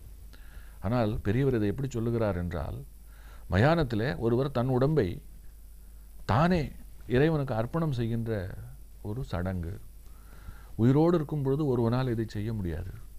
எனக்குள்ளே உயிர் இருக்கும் பொழுது என் உடம்பை எப்படி என்னால் கொடுக்க முடியும்? முடியாது. அதனால் அவர் சொல்லுகிறார் பிறருக்கு இது நடக்கும் பொழுது நாம் அதை நடத்தி தருகின்றவர்களாக இருக்கிறோம். அதாவது நம்முடைய தந்தைக்கு நம்முடைய உறவினர்களுக்கு என்று நடக்கும் பொழுது அந்த சமஸ்காரத்தில் பங்கெடுத்து கொண்டு அவர்களுக்கு தீயிட்டு அவர்களுக்கான சடங்குகளை நாம் செய்யும் பொழுது ரொம்ப நுட்பமாக சொல்லுகிறார் ஒரு வகையில் உனக்கான சடங்கை நீ செய்து கொள்கிறாய். இந்த கோணத்தில் எத்தனை பேர் நாம் யோசித்து பார்த்துருப்போம் என்று தெரியாது. ஏன்னா இறந்த பிறகு நீ இதை செய்வதற்கு இருக்க மாட்டாய். ஆகையினால் உயிரோடு இருக்கும் பொழுதே நீ இதை செய்து கொள்ள வேண்டும். நீ பிற உடம்புக்கு செய்கின்ற ஒரு செயல் இருக்கிறதே அது நாளை உன் உடம்புக்கும் நிகழும். இது வந்து ஒரு தொடர்ச்சியான செயல்பாடு. இந்த செயல்பாட்டை இந்த காரியத்தை மிக அர்த்தத்தோடு நம்முடைய சமயம் வகுத்து தந்திருக்கிறது. அதற்கென்று மந்திரங்கள் இருக்கின்றன. அந்த மந்திரத்தை சொல்லி நாம் இந்த உடம்பை அக்னியிடம் ஒப்படைக்க ஆன்மா இருக்கிறது. அது இறைவனுடைய திருவடி நிழலிலே சென்று சேருகிறது என்று சொல்லிவிட்டு இந்த சடங்கு இருக்கிறதே இதை ஒரு மிகப்பெரிய வேள்வியோடு சம்பந்தப்படுத்துகிறார். அஸ்வமேத யாகம் என்கின்ற ஒன்றை பற்றி நாம் கேள்விப்பட்டிருப்போம். அஸ்வமேத யாகம் என்பதை அரசர் பெருமக்கள் அந்த காலத்தில் செய்வார்கள். அஸ்வமேத யாகம் செய்கின்ற ஒரு அரசன் அஸ்வம் என்று சொன்னால் குதிரை. தன்னிடம் இருக்கக்கூடிய மிக உயர்ந்த ஜாதி புறவி இரண்டை யாகத்தின் பொருட்டு அதன் மேலே கொடியை நாட்டி அவன் அந்த புறவிகளை நாடுதோறும் அனுப்புவான். அந்த எந்த ஒரு நாட்டு அரசன் அந்த புறவியை பிடித்து கட்டுகிறானோ அவனுக்கு அந்த யாகத்தில் வந்து விருப்பம் இல்லை என்று பொருள். அவனோடு சண்டையிட்டு அவனை பணிய செய்த நிலையிலே அந்த புறவி நாடுகள் தோறும் சென்று எல்லோருடைய எல்லோரையும் கட்டுப்படுத்தின நிலையில் அது திரும்ப வரும். அப்படி திரும்ப வந்துவிட்ட நிலையில் அந்த அரசன் இருக்கிறானே அவன் அஸ்வமேத யாகம் செய்வான். அப்படி அஸ்வமேத யாகம் செய்தால் அவனுக்கு இந்த உலகத்தினுடைய சக்கரவர்த்தி என்கின்ற ஒரு மேலான பட்டம் கிடைத்து எல்லா விதமான செல்வங்களையும் பெறுவான். இப்படி யாகம் செய்கின்றவனுடைய முன்னோர்கள் நரகத்தில் இருந்தால் அவர்களுக்கு சொர்க்கம் கிடைக்கும். அதனால் அஸ்வமேத யாகம் என்பது ஒரு மிக மேலான ஒரு விஷயம். வேத விற்பனர்களை கொண்டு செய்ய வேண்டிய ஒரு மிகப்பெரிய சடங்கு. பெரியவர் அவர்கள் பிரேத சம்ஸ்காரம் இருக்கிறதே. குறிப்பாக ஹிந்து சமுதாயத்தில் அனாதை பிணங்களை நாம் கண்டுகொள்வதில்லை. அதை ஒரு குப்பை போல கருதி தூக்கி எறிந்து விடுகிறோம். அஸ்வமேத யாகத்தை தனியே ஒருவன் அரசனாக இருந்துதான் செய்ய வேண்டும் என்றே கிடையாது. எந்த ஒரு அனாதை பிணத்தை எடுத்து ஒருவன் அதற்கு பின்னாலே இருந்து கொண்டு அதற்குண்டான காரியத்தை தன் பொருட்டு ஏற்றுக்கொண்டு செய்கிறானோ அவன் அஸ்வமேத யாகம் செய்த பயனை அடைகிறான் என்று சொல்லிவிட்டு கடவுளர்களே இந்த விஷயத்தில் ஒரு மிகப்பெரிய உதாரண புருஷர்களாக நமக்கு வாழ்ந்திருக்கிறார்கள். ராமாயணத்தில் ராமன் ஜடாயுவுக்கு தன்னுடைய க- தன் பொருட்டு ஜடாயு உயிர் நீத்து விட்டது. ஜடாயுவுக்கான காரியங்களை எல்லாம் ராமன் முன்னின்று செய்திருக்கிறான். அதே போல ராவணனோடு யுத்தம் செய்கின்ற தருணத்தில் அவனனை வீழ்த்திவிட்ட நிலையில் கும்பகர்ணனை ராவணனை வீழ்த்திவிட்ட நிலையில் எதிரி அவனை வீழ்த்தி ஆயிற்று. அந்த உடம்பை கூறு போட்டு காக்கைக்கும் கழுகுக்கும் வீசலாம். அதற்கான நியாயங்கள் இருந்த பொழுதும் கூட உயிர் நீங்கிவிட்ட அந்த உடம்பை கொண்டு அவர்களுக்கு செய்ய வேண்டிய தகனக்கிரியை என்கின்ற அந்த கர்ம காரியங்கள் இருக்கிறது அவைகளை விபீஷணனை கொண்டு முறையாக செய்ய சொல்லுகிறான். ராமாயணத்திலே மட்டுமல்ல மகாபாரதத்திலேயும் கிருஷ்ணனும் இதே வழியைத்தான் பின்பற்றுகின்றான். கௌரவர்கள் உட்பட எல்லோரும் குருட்சேத்திரத்தில் அந்திம சமஸ்காரம் பண்ணுவித்து அப்புறம் திருதராஷ்டனையும் பாண்டவர்களையும் கங்கா தீரத்திற்கு அழைத்து கொண்டு போய் அவர்கள் தர்ப்பணாதிகள் செய்வதற்கும் பக்கத்துணையாக இருக்கிறார். இதற்கெல்லாம் காரணம் என்ன என்று சொன்னால் வாழும் வரை வாழ்வதற்கு பயன்பட்ட உடம்பு இருக்கிறதே. அது பயன்பட்டு முடிந்து விட்ட நிலையில் அவைகளுக்கு நாம் கட்டாயம் அளிக்க வேண்டிய ஒரு மரியாதை. இந்த மரியாதை அந்த உடம்புக்கு மட்டுமல்ல முன்பே பெரியவர் அவர்கள் நுட்பமாக சொன்னது போல உயிரோடு இருக்கும் நிலையிலே நாம் நமக்கு செய்து கொள்ள இயலாது. பிறருக்கு தைவதுதான் நாம் நமக்கு செய்து கொள்வது. எனவே இந்த செய்கின்ற செயல்பாடு இருக்கிறதே இந்த உடம்பை கொண்டாடுகின்ற இந்த உடம்பை போற்றுகின்ற இந்த செயல்பாடு இருக்கிறதே இது முக்கியம்.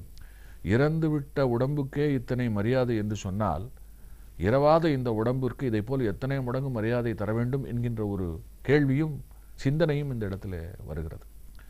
இன்றைக்கு பல பேர் சாப்பிட்டு நல்ல பலத்தோடு வாழ்வதற்குத்தான் இந்த உடம்பு ருசியை அனுபவிப்பதற்குத்தான் நாக்கு இந்த வயிறு என்று இருப்பதே எல்லாவற்றையும் உள்ளே தள்ளி கொள்வதற்குத்தான் என்று தவறாக கருதி கொண்டிருக்கிறார்கள். அப்படி அல்ல இந்த உடம்பை கொண்டு நல்ல காரியங்கள் நிறைய செய்ய வேண்டும். ஒவ்வொரு உறுப்பும் ஒவ்வொரு நல்ல காரியத்தை செய்வதற்கு நமக்கு துணை நிற்கிறது. அப்படி செய்தால் இந்த உடம்பும் சரி நமக்கு ஏற்படுகின்ற மரணம் இருக்கிறதே அதுவும் ரொம்ப ஒரு நல்ல விதமான வலியற்ற ஒரு மரணமாக நமக்கு இருக்கும் முக்தி கிடைக்கும் நமக்கான காரியங்கள் நல்ல விதமாக நமக்கு ஈடேறும். இந்த கருத்தை பெரியவர்கள் வலியுறுத்துவதை கேட்டுவிட்டு ஒரு மருத்துவர் பெரியவரிடம் வந்து இப்படி எல்லா பிணங்களையும் கோவில் போல கருதி தெய்வம் போல கருதி காரியம் செய்ய வேண்டும் என்று நீங்கள் சொல்லுவதை பார்த்தால் எங்களுடைய ஆராய்ச்சிக்கு குறிப்பாக மருத்துவத்துறையில் நாங்கள் அனாட்டமி சயின்ஸ் என்று சொல்லக்கூடிய பாகத்திற்கு உடம்பை அறுத்து கூறு போட்டுத்தான் நாங்கள் காரியங்கள் செய்வோம். எங்களுக்கு இல்லாமல் போய்விடுமே நாங்கள் என்ன செய்வது என்று கேட்கும் பொழுது அந்த மருத்துவர்களுக்கு பெரியவர் அவர்கள் ரொம்ப அழகாக ஒரு பதில் சொல்லுகிறார். நீங்கள் ஒரு பெரிய சேவையாக மருத்துவ சேவையை செய்கிறீர்கள். அந்த சேவையினுடைய உச்சமாக இந்த காரியத்தில் இறங்குகிற நீங்களே உங்களுடைய உடம்பை தானமாக இந்த விஷயத்தில் கொடுத்து விடலாம். இதற்கு அனாதை பிணங்களை பயன்படுத்துவது என்பது தேவையில்லை. ஏனென்று சொன்னால் அனாதை பிணங்களை பயன்படுத்தும் பொழுது அவர்களுக்கு செய்ய வேண்டிய கடமை அவர்களுக்கு செய்ய வேண்டிய காரியம் தட்டுப்பட்டு அதனாலே ஒரு தவறான ஒரு சாபகரமான நிலை ஒன்று உருவாகி விடுகிறது. இந்த நாட்டிலே வந்து இவருக்கு பயன்பட இப்படி கூட திருப்பி கேட்கலாம். அவர்களை பயன்படுத்த போய் அவர்களுக்கு புண்ணியம் சேராதா என்று நீங்கள் நினைக்கலாம். அப்படி அல்ல. இதை நீங்கள் உங்களுடைய உடம்பை அழுத்து செய்யலாமே என்று அவர்களுக்கு பெரியவர் பதில் சொன்னதாக வருகிறது. இப்படி உடம்பை தொட்டு நிறைய இன்னமும் நிறைய அவர் பேசியிருக்கிறார். தொடர்ந்து சிந்திப்போம்.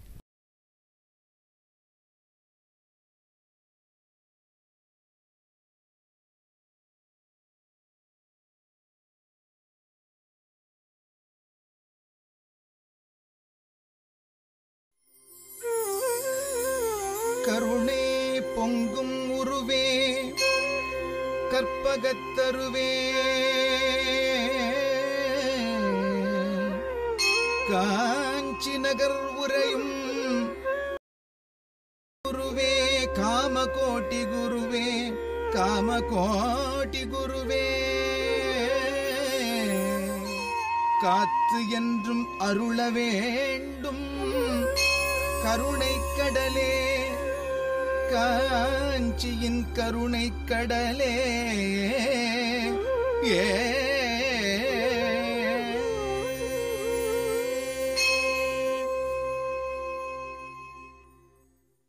பொதிகை தொலைக்காட்சி நேயர் பெருமக்களுக்கு என்னுடைய அன்பு வணக்கம். காஞ்சியின் கருணை கடல் நிகழ்ச்சியிலே இன்றைக்கு மாதங்கள் குறித்த சில நுட்பமான செய்திகளை பெரியவர் வாயிலாக நாம் தெரிந்து கொள்ளப் போகிறோம். மாதங்கள் என்று சொன்னவுடன் ஆங்கிலத்தில் ஜனவரி பிப்ரவரி என்று தொடங்கி டிசம்பர் மாதம் வரையிலான காலம் நமக்கு நினைவுக்கு வரும். இதையே தமிழில் சொல்ல சொன்னால் சித்திரை வைகாசி ஆனி ஆடி ஆவணி என்று தமிழ் மாத பெயர்கள் நமக்கு நினைவுக்கு வரும். மாதங்களுக்கு இப்படி இருவேறு பெயர்கள். கொண்டாட்டம் கூட ஆங்கில புத்தாண்டு என்று ஜனவரி ஒன்றாம் தேதியை ஒரு சாரரும் தமிழ் புத்தாண்டு என்று ஏப்ரல் பதினான்காம் தேதியை சித்திரை முதல் நாளை தமிழ் புத்தாண்டு என்றும் கொண்டாடுவதை நாம் வழக்கமாக கொண்டிருக்கிறோம். எதற்காக இப்படி இருவேறுபட்ட நிலை? எதற்காக இப்படி இரண்டு வேறுபட்ட பெயர்கள்? என்று நமக்குள்ளே கேள்வி எழலாம். குறிப்பாக இந்த ஜனவரி பிப்ரவரி போன்ற இந்த கால கணக்கு இருக்கிறது. இது வெள்ளையர்கள் இங்கே வரப்போய் நம்மை ஆளப்போய் நம்மை அடிமை செய்ய போய் இது நம்மிடையே தொற்றிக் கொண்டு இன்றைக்கு அது பயன்பாட்டிற்கு வந்துவிட்டது. ஆனால் காலகாலமாக இந்த சமுதாயத்தில் தமிழ் மாதம் இருக்கிறதே அதுதான் நடைமுறையில் சிந்திக்கப்பட்டு செயல்படுத்தி வந்திருக்கிறது. நீங்கள் வரலாற்றை பார்த்தால் சித்திரை வைகாசி என்கின்ற கணக்கிலே தான் காலங்களுக்கு நாம் பெயர் வைத்து அழைத்திருக்கிறோம். அந்த வகையில் இடையில ஏற்பட்ட மாற்றம்தான் வெள்ளையர்களால் வந்த மாற்றம்தான் மாறுபட்ட ஒன்று. இந்த தமிழ் பெயர்கள் இருக்கிறதே இவை எதன் அடிப்படையிலே வைக்கப்பட்டன? என்ன? எதற்காக இந்த பன்னிரெண்டு பெயர்களை இப்படி தீர்மானம் செய்தார்கள்? இது ஒரு தெரிந்து கொள்ள வேண்டிய ஒரு விஷயம்.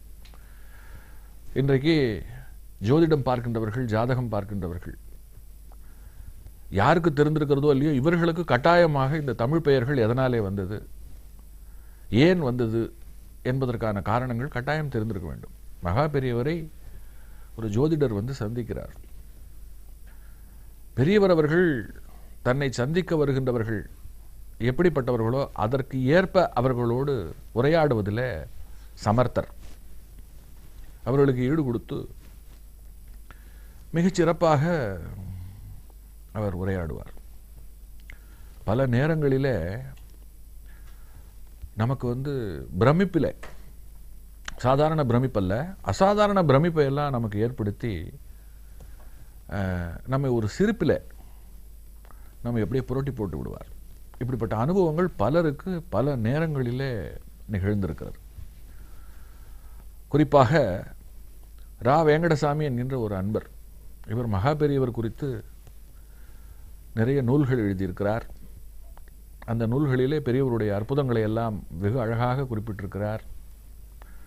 அவருடைய வாழ்க்கையிலேயே ஒரு அனுபவம். அவர் அவருடைய பாஷையிலே சொல்லுவதாக இருந்தால் நான் கடவுளை வணங்குகின்றவன் சந்நியாசிகளை மதிக்கின்றவன்.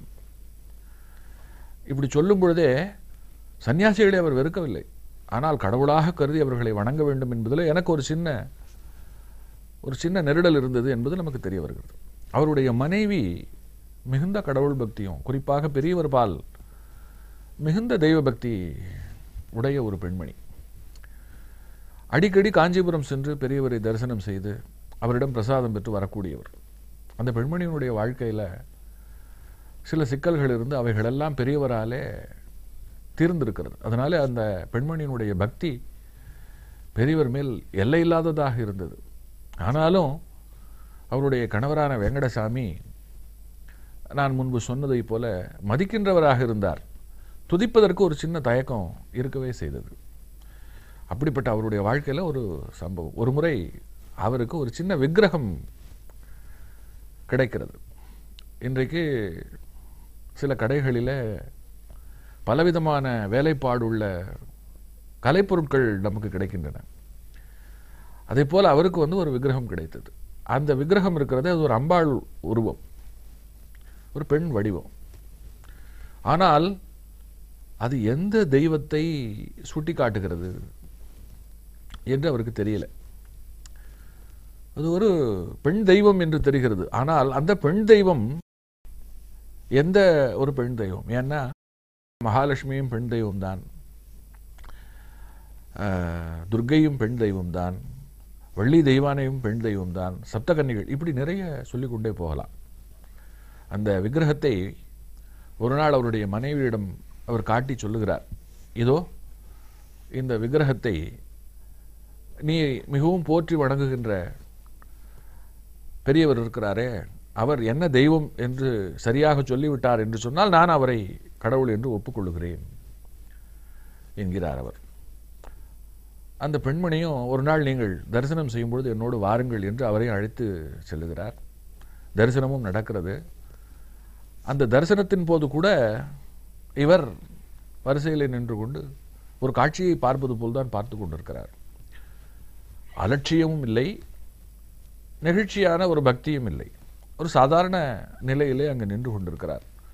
அப்பொழுது அவருடைய முறை வரும்பொழுது பெரியவர் எதுவும் இவர்கள் எதுவும் பேசாமல் இவர்கள் எதுவும் சொல்லாத நிலையிலே மகா பெரியவர் அவர்கள் அந்த பெண்ணை பார்த்து கேட்கிறார் என்ன உன் வீட்டுக்கு அகிலாண்டேஸ்வரி வந்திருக்கா போல இருக்கு? என்று சொன்ன உடனே இவருக்கு இந்த பெண்மணிக்கு சிலிர்த்து போகிறது. ஏனென்றால் ஒரு விக்கிரகம் வந்திருக்கிறது அது யார் என்று கேட்க வேண்டும் என்பதுதான் அந்த அன்றைக்கு வந்திருப்பதனுடைய நோக்கமே. அதை சொல்லக்கூட தொடங்கவில்லை. ஆனால் சொல்லுவதற்கு முன்பாகவே வந்திருப்பது அகிலாண்டேஸ்வரி என்று கேட்காமலே பெரியவர் சொல்லுகிறார். அப்படி சொன்னதை அங்கிருந்து கேட்ட திரு வேங்கடசாமி அவர்கள் கூட அதற்கு பிறகு பெரிய அளவில் மனமாற்றத்திற்கு ஆளாகி இப்படி மூன்றாம் பார்வையோடு மனதிற்குள் இருப்பதை சராசரி மனிதர்களால் சாமானியப்பட்ட மனிதர்களால் கண்டறிந்தெல்லாம் சிந்திக்கவோ பேசவோ முடியாது. அதற்கு மிகப்பெரிய ஆற்றல் தவ ஆற்றல் அருளாற்றல் வேண்டும். அவைகளை எல்லாம் விளங்கி கொண்டார். இப்படி பெரியவரை பற்றி சொல்லும்பொழுது நாம் அவர் முன்னாலே போய் நின்று நம்முடைய பிரச்சனைகளை எடுத்துச் சொல்லணும் என்கின்ற அவசியம் பல பேருக்கு நேரிட்டதே இல்லை. நாம் நினைத்தாலே போதும் அது அவருக்கு தெரிந்துவிடும். தெரிந்த நிலையிலே அதற்கான பதிலை அதற்கான வழிகளை அவர் பல பேருக்கு காட்டியிருக்கிறார் என்பது இது இந்த சம்பவம் வந்து ஒரு உதாரணம். இந்த நிலையில் அவர் எதிரில் ஒரு ஜோதிடர் போய் நிற்கும் பொழுது அந்த ஜோதிடருடைய மனசுக்குள்ளே பல கேள்வி. அவருக்கு இந்த சித்திரை வைகாசி என்கின்ற அந்த பெயர் இருக்கிறது. இதில் சில மாதங்களுக்கு அவருக்கு விடை தெரிந்திருக்கிறது. உதாரணமாக எப்பொழுதுமே ஒரு மாதத்தினுடைய பௌர்ணமி அன்று என்ன நட்சத்திரம் வருகிறதோ அந்த நட்சத்திரத்தின் பெயரை அந்த மாதம் கொண்டிருக்கும். இதுதான் ஜோதிட ரீதியாக உள்ள ஒரு தாத்பரியம். உதாரணமாக சித்திரை பௌர்ணமி அன்று சித்திரை நட்சத்திரம் வரும். அதனால் அந்த மாதத்திற்கு சித்திரை. எந்த நட்சத்திரத்தின் பெயரில் பௌர்ணமி வருகிறதோ அந்த மாதத்தை அந்த பெயராலே அழைப்பது என்பதுதான் வழக்கம். இது அந்த ஜோதிடராகி அவருக்கும் தெரியும். ஆனால் சில பெயர்கள் இடிக்கிறது. இப்போ சித்திரை நட்சத்திரம் சித்ரா பௌர்ணமி என்று வருகிறது. அந்த மாதத்திற்கு சித்திரை பொருந்துகிறது. ஆனால் இந்த ஆனி ஆடி ஆவணி இவைகளுடைய பெயர் இருக்கிறதே அவைகள் இடிக்கிறது. அவருக்குள்ளே இந்த ஒரு குழப்பம் இருக்கிறது. இதுக்கு யாரிடம் விடை கேட்டால் கிடைக்கும்? சில பெயர்கள் பொருந்துகிறது. சில நட்சத்திர பெயர்கள் பொருந்தவில்லை. என்றால் இப்பொழுது நாம் வழக்கத்தில் அழைக்கின்ற இந்த பெயர்கள் இருக்கிறதே இந்த பெயர்களுக்கு வேறு பொருள் இருக்குமோ என்று அவருக்குள்ளே ஒரு எண்ணம். இதை அவர் வந்து பெரியவர்கிட்ட சொல்லவே இல்லை. ஆனால் பெரியவராக அந்த இடத்துல ஆரம்பிக்கிறார்.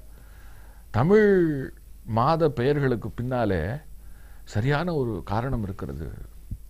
அதே சமயம் மனிதன் எப்பொழுதுமே தன்னுடைய நாக்கின் வசதிக்கு ஏற்ப தான் வாழ்கின்ற ஊரினுடைய தன்மைக்கு ஏற்ப சில சொற்களை மாற்றிக்கொண்டு உச்சரிக்கக்கூடியவன். அந்த அடிப்படையில் பெயர்களை நாம் அணுகினால் நட்சத்திரம் என்பது மிகச் சரியாக பொருந்தும் என்று சொல்லிக்கொண்டு வரிசையாக வருகிறார். சித்திரை நட்சத்திரத்தில் சித்திரை மாதம் பிறப்பதுனாலே அதற்கு சித்திரை என்று பெயர். அடுத்து வைகாசி. இந்த வைகாசி இருக்கிறதே விசாக நட்சத்திரத்திலே பிறக்கிறது. விசாகம் என்கின்ற பெயருக்கு சற்று அதை மேம்படுத்த நிலையிலே சொல்லும் பொழுது வைசாகம் என்றும் சொல்லுவார்கள். இந்த வைசாகம் இருக்கிறதே அதுதான் மருவி வைகாசி என்று ஆச்சு அடுத்தது ஆனி. ஆனி அனுஷம் என்கின்ற நட்சத்திரத்தில் வருகிறது. அனுஷ நட்சத்திரத்தில் வருகின்ற பெயர் சுருக்கமாக சொன்னாலும் அனு மாதம் என்றல்லவா வர வேண்டும். அது என்ன ஆனி என்று கேட்கலாம். ஆனால் உண்மையில் அனுஷத்தினுடைய சமஸ்கிருத பெயர் இருக்கிறதே அது ஆனூஷி. இந்த ஆனூஷியில் இருக்கக்கூடிய ஷா இருக்கிறதே இது உதிர்ந்து போய் ஆணு ஆணி என்று ஆனது என்கிறார். உடனே அந்த ஜோதிடர் இப்படித்தான் ஒவ்வொன்றுமே மருவி வந்திருக்கிறது. அடுத்த மாற்றங்களும் எப்படி ஏற்பட்டது? என்று தொடர்ந்து பெரியவரை பார்க்க பெரியவர் சொல்லிக்கொண்டே போகிறார். ஆடி மாதம் இருக்கிறதே. இது ஆஷாட என்கின்ற பெயரிலே வந்தது. குறிப்பாக தமிழிலே இதை பூராடம் உத்தராடம் என்று சொல்லுவார்கள். இதில் ஏதாவது ஒரு நட்சத்திரத்தில் ஆடி மாத பௌர்ணமி வரும்.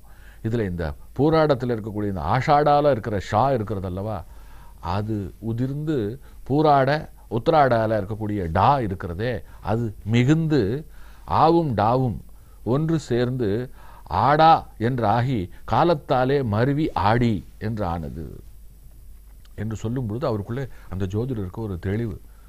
இப்படி பெயர்களுக்குள்ளே புகுந்து அவைகள் மனிதர்களுடைய உச்சரிப்பினாலே அடைந்த மாற்றங்களை எல்லாமும் நாம் சேர்த்து சிந்தித்துக்க நமக்கு தெரியாமல் போய்விட்டதே என்கின்ற ஒரு நிலைப்பாட்டோடு பார்க்கிறார். பெரியவர் தொடர்கிறார். ஆவணி மாதம் சிரவண நட்சத்திரத்திலே வருகிறது. சிரவணம் என்று சொன்னால் அதை சற்று மேம்படுத்தி திருவோணம் என்று சொல்லுவோம். இது மகாவிஷ்ணுவுக்கு உரிய ஒரு நட்சத்திரம். அந்த நட்சத்திரத்தில் பிறக்கின்ற காரணத்தினாலே அதற்கு ஆவணி. இந்த புரட்டாசி இருக்கிறது. இது பிரஷ்டோத்பதம் இது புரோஷ்டபதம் என்கின்ற நட்சத்திரம் தான் பூரட்டாதி என்று ஆயிற்று. இந்த பூரட்டாதி தான் மருவி புரட்டாசி என்று ஆயிற்று. அஸ்வினியில் பிறக்கிறது ஐப்பசி. அஸ்வினி தான் மருவி ஐப்பசி என்றாயிற்று. கார்த்திகை நட்சத்திரத்திலே பிறக்கின்ற கிருத்திகை நட்சத்திரத்திலே பிறப்பதனால கார்த்திகை மாதம் கார்த்திகை என்று ஆயிற்று மார்க சீரிஷம் என்கின்ற நட்சத்திரம்தான் திருந்து மிருக சீருஷம் என்றாயி அந்த மிருகசீரிஷம் நட்சத்திரத்தில் பிறக்கின்ற மாதம் இருக்கிறதே அது மார்கழி என்கின்ற பெயரை பெற்றது. புஷ்யம் என்பது பௌஷ்யம் என்றாயி திஷ்யம் என்னும் பேர் மெல்ல மருவி திஷ்யம் என்பது தைஷ்யமாகி அதிலே இந்த இஷ்யம் என்பது விலகி தை என்றாகி தை மாதம். அதாவது தை மாதத்தினுடைய பௌர்ணமி கால நட்சத்திரம் இருக்கிறது அது புஷ்யம். மாசி இருக்கிறதே அது மக நட்சத்திரத்தில் பிறக்கிறது. மாஹி தான் இங்கே கீ திரிந்து சீயாகி மாசி என்றானது. பங்குனி இருக்கிறதே இது பூரம் உத்திரம் அதாவது பல்குனி எனப்படும் பெயர்தான் பங்குனி என்று இங்கே உச்சரிக்கப்படுகிறது என்று பனிரெண்டு தமிழ் மாத பெயர்கள் இருக்கிறதே. அந்த பெயர்களுக்கு பின்னாலே இருக்கக்கூடிய பொருள் நட்சத்திர பொருள் இருக்கிறதே அது எப்படி வந்தது அது எப்படி உடைந்து தெரிந்தது என்கின்ற தகவல்களை எல்லாம் சொன்ன உடனே அந்த ஜோதிடருக்கு எப்படி நான் ஒரு ஜோதிடன் நான் ஒரு காலத்தை கணிப்பவன் எனக்கு இந்த விஷயம் தெரிந்திருக்க வேண்டும் நான் தெரிந்து கொண்டிருக்க வேண்டும். ஆனால் ஒரு மடத்து சந்நியாசி அவருக்கு எப்படி இத்தனை விஷயங்கள் இவரால் எடுத்து சொல்ல முடிந்தது? என்று வியப்போடு பார்த்தாராம். வியப்போடா பிரமிப்போடு பார்க்க முடிந்தவர் நம்முடைய பெரியவர். பிரமிப்போடு அவரை நோக்குவதற்கு இன்னமும் நிறைய சங்கதிகள் கொட்டி கிடக்கின்றன. தொடர்ந்து சிந்திப்போம்.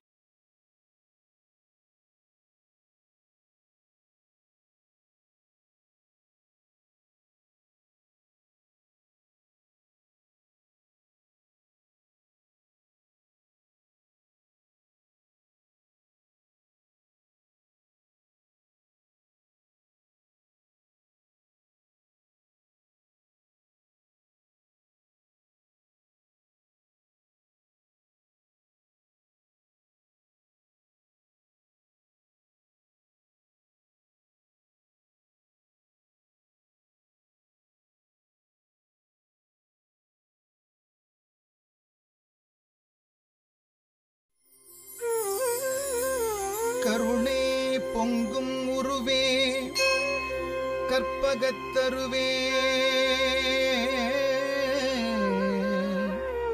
காஞ்சி நகர் உரையும் காமகோட்டி குருவே காமகோட்டி குருவே காமகோட்டி குருவே. காத்து என்றும் அருள வேண்டும். கருணை கடலே காஞ்சியின் கருணை கடலே. ஏ.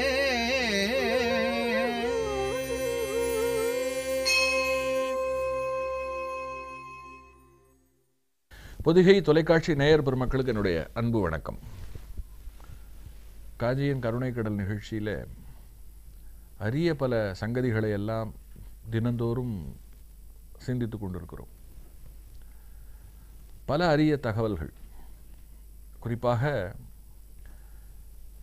வீடுகளிலே சுபகாரிய நாட்களிலே செய்யப்படுகின்ற கணபதி ஹோமம் அது ஒரு சடங்காக மட்டும்தான் நமக்கு தெரியும்.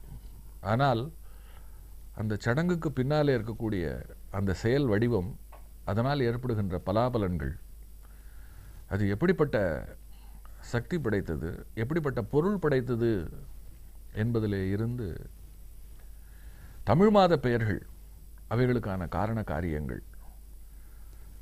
அதோடு அஸ்வமேத யாகம் பற்றி கேள்விப்பட்டிருக்கிறோம். ஆனால் ஒரு அனாதை பிணத்திற்கு செய்கின்ற காரியம் ஒரு அரசன் செய்கின்ற அஸ்வமேத யாகத்திற்கு இணையானது என்பது போன்ற பல அரிய சங்கதிகளை எல்லாம் மகாபெரிவர் அவர்களுடைய வாயிலாக இந்த நிகழ்ச்சியிலே நாம் நாள்தோறும் சிந்தித்து கொண்டிருக்கிறோம். இந்த நிகழ்ச்சியினுடைய நேர்களுடைய எண்ணிக்கை நாளுக்கு நாள் ஆயிரக்கணக்கிலே பெருகி வருகிறது. இந்த நிகழ்ச்சி பற்றி அறிந்து பல புதியவர்கள் அன்றாடம் வந்து சேர்ந்து இன்றைக்கு என்ன புதிய தகவல்கள் எங்களுக்கு தெரிய போகிறது என்று ஆவலோடு அவர்கள் காத்திருந்து அந்த நிகழ்ச்சியை பார்த்து வியந்த நிலையில் நிகழ்ச்சி முடிந்தவுடன் அவர்கள் உடனே என்னை தொலைபேசியிலே தொடர்பு கொண்டு தங்களுடைய மகிழ்ச்சியை அவர்கள் பகிர்ந்து கொள்ளுகிறார்கள். பலருக்கு பல சந்தேகங்கள். குறிப்பாக இந்த நிகழ்ச்சியில நான் சில முக்கியமான சில மந்திரங்களை பெரியவர் சொன்ன சில மந்திரங்களை குறிப்பாக வலியின்றி துன்பமின்றி உயிர் பிரிய வேண்டும் என்று விரும்பிய ஒரு அன்பர் பெரியவரிடம் வந்து தனக்கு அதற்கு வழிகாட்ட வேண்டும் என்று சொல்ல பெரியவர் அதன் பொருட்டு சொன்ன நான்கு வரி மந்திரம். இந்த மந்திரத்தை நான் அன்றைய தினம் சொன்ன மாத்திரத்தில் அன்றைய தினம் மட்டுமே எனக்கு நூற்றுக்கணக்கானவர்கள் என்னை தொலைபேசியிலே தொடர்பு கொண்டார்கள். அவர்கள் அத்தனை பேருமே இன்னொரு முறை இந்த மந்திரத்தை நீங்கள் சொல்ல மாட்டீர்களா? நாங்கள் உங்கள் நிகழ்ச்சியை பார்க்கும் பொழுது இனிமேல் பேப்பரும் பேனாவுமாக அமர வேண்டும். ஏனென்றால் எப்பொழுது இதை போன்ற நல்ல விஷயங்கள் எங்களுக்கு தெரிய வரும் என்று தெரியவில்லை. நாங்கள் அன்றைக்கு அப்படி ஒரு தயார் நிலையில் இல்லாமல் போய்விட்டோம். அதனால் நீங்கள் சொன்னதை குறித்து வைத்துக் கொள்ள முடியவில்லை. எங்களுக்கு நீங்கள் அந்த மந்திரத்தை திரும்ப சொல்ல முடியுமா என்று கேட்கவும் நான் திரும்பவும் என்னுடைய குறிப்பிலே இருந்து அந்த மந்திரத்தை எழுதி குறிப்பாக என்னுடைய தொலைபேசிக்கு அருகிலேயே அதை எழுதி வைத்து விட்டேன் என்னுடைய குடும்பத்தைச் சேர்ந்தவர்களிடமும் சொன்னேன். நான் இல்லாத பொழுது யாராவது தொலைபேசி அழைத்து கேட்டார்கள் என்று சொன்னால் நீங்கள் இதை வாசித்து அவர்களுக்கு சொல்லிவிட வேண்டும் என்று சொல்ல போக என்னுடைய மனைவி என்னுடைய மகள் ஆகியோர் தினந்தோறும் ஒரு பத்து பேருக்காவது அந்த மந்திரத்தை சொல்லுவது என்கின்ற ஒரு நிகழ்ச்சி இருக்கிறதே அது இன்றைக்கு நடந்து கொண்டிருக்கிறது. இதெல்லாம் இந்த நிகழ்ச்சியை நேயர்கள் எவ்வளவு கூர்ந்து கவனிக்கிறார்கள் அவர்கள் எவ்வளவு மகிழ்ச்சியோடு எவ்வளவு உணர்ச்சி பெருக்கோடு இதை அனுபவிக்கிறார்கள் என்பதற்கு இந்த சம்பவம் எல்லாம் சான்று. மகாபெரியவர் அவர்கள் தன்னுடைய ஸ்தூல உடம்பை நீக்கி கொண்டு சூட்சமமாக நடமாடத் தொடங்கி இருபது ஆண்டுகளுக்கும் மேலாக ஆகிவிட்டது. ஆனாலும் அன்று சிந்திக்கப்பட்டதை விட இன்று அவர் மிகப்பெரிய அளவிலே சிந்திக்கப்பட்டு மிகப்பெரிய அளவிலே கொண்டாடப்பட்டு மிகப்பெரிய அளவிலே துதிக்கப்பட்டு கொண்டிருக்கிறார். அவரால் இன்றைக்கு பல ஆயிரம் பேருக்கு மன உபாதைகள் நீங்கி பலருடைய வாழ்க்கையிலே அவர்களுக்கெல்லாம் பிரகாசமாக வழிகாட்டுவதாக அவருடைய அன்றைய பேச்சு இன்றைய பேச்சாக என் மூலமாக இந்த நிகழ்ச்சியின் வாயிலாக சென்று கொண்டிருக்கிறது. அவர் தான் வாழ்ந்த காலத்தில் எப்பேற்பட்ட ஒரு பிறருடைய குறைகளை நீக்குகின்ற விதத்தில் அவர் எப்பேற்பட்ட ஒரு மேன்மையுடையவராக இருந்தார் என்பதற்கு இன்றைக்கு நான் சொல்ல போகின்ற ஒரு சம்பவம் சாட்சி. ஒரு வயதான அன்பர் இவர் ஒரு பள்ளி ஆசிரியர். இவருக்கு கால்களிலே கோளாறு. அதனால இவரால் பெரிய அளவில் எங்கும் நடந்து சென்று வர முடியாது. இவருக்கு பெரியவர் பேல மாளாத பக்தி. அவருடைய வாழ்நாளிலே ஒன்றிரண்டு முறை பெரியவரை தரிசனம் செய்திருக்கிறார். அதுவும் எப்படி என்று சொன்னால் அவர் வாழ்ந்திருக்கின்ற ஊருக்கு பெரியவர் அவர்கள் விஜயம் செய்த நிலையில பெரியவரை தரிசனம் செய்திருக்கிறார். இப்பொழுது பள்ளி பள்ளியிலே இருந்து ஓய்வு பெற்றுவிட்ட நிலையில் மிக முதிர்ந்த நிலை. அநேகமாக அவருக்கு எழுபதை கடந்துவிட்ட ஒரு நிலை என்று சொல்லலாம். மிகுந்த தள்ளாமை வந்துவிட்டது.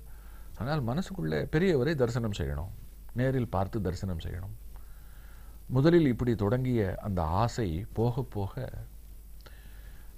தான் இறப்பதற்குள் பெரியவரை ஒரு முறையாவது தரிசித்து விட வேண்டும். என்று அவருடைய எண்ணத்தில் ஒரு மாற்றம் வந்துவிட்டது.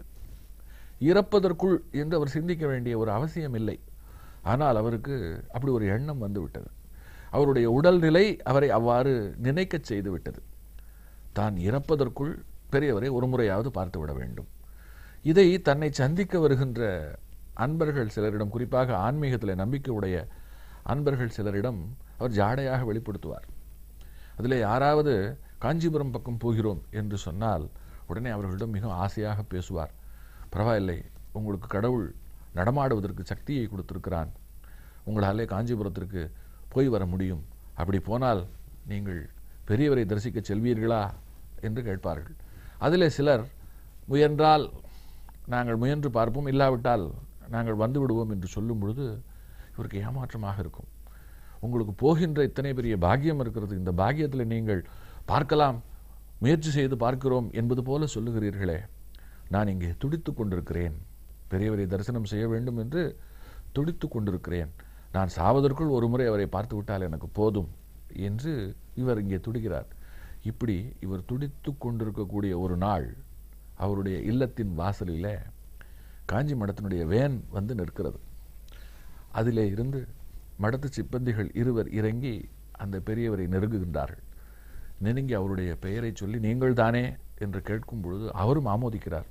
நீங்கள் யார்? என்று கேட்கும் பொழுது அவர்கள் சொல்லுகிறார்கள் நாங்கள் காஞ்சி மடத்தில் இருந்து வந்திருக்கிறோம். பெரியவர் உங்களை அழைத்து கொண்டு வரச் சொன்னார். அதை கேட்ட உடனே அவருக்கு பெரிய சிலிர்ப்பு. இங்கே நான் தவித்து கொண்டிருப்பது துடித்து கொண்டிருப்பது அந்த மகானுக்கு தெரிந்து என்னால் வர முடியாது என்பதற்காக அவர் அங்கே இருந்து வாகனத்தையே அனுப்பி என்னை அழைத்து கொண்டு வர சொன்னாரா? அடேப்பா என்ன ஒரு கருணை. நான் மிக மிக மிக சாமானியப்பட்ட ஒருவன். அவரை பக்தியோடு நினைத்து கொண்டிருக்கிறேன் என்பதை கடந்து என்னிடம் வேறு எந்த ஒரு பெரிய தகுதிப்பாடும் கிடையாது. எனக்கு இப்படிப்பட்ட ஒரு அனுகிரகமா? என்று அவருக்குள்ளே சிலிர்ப்பு. அவருடைய கண்களிலிருந்து ஆனந்த கண்ணீர் பெருகுகிறது. அவர் நடப்பதற்கு முயற்சி செய்கிறார்.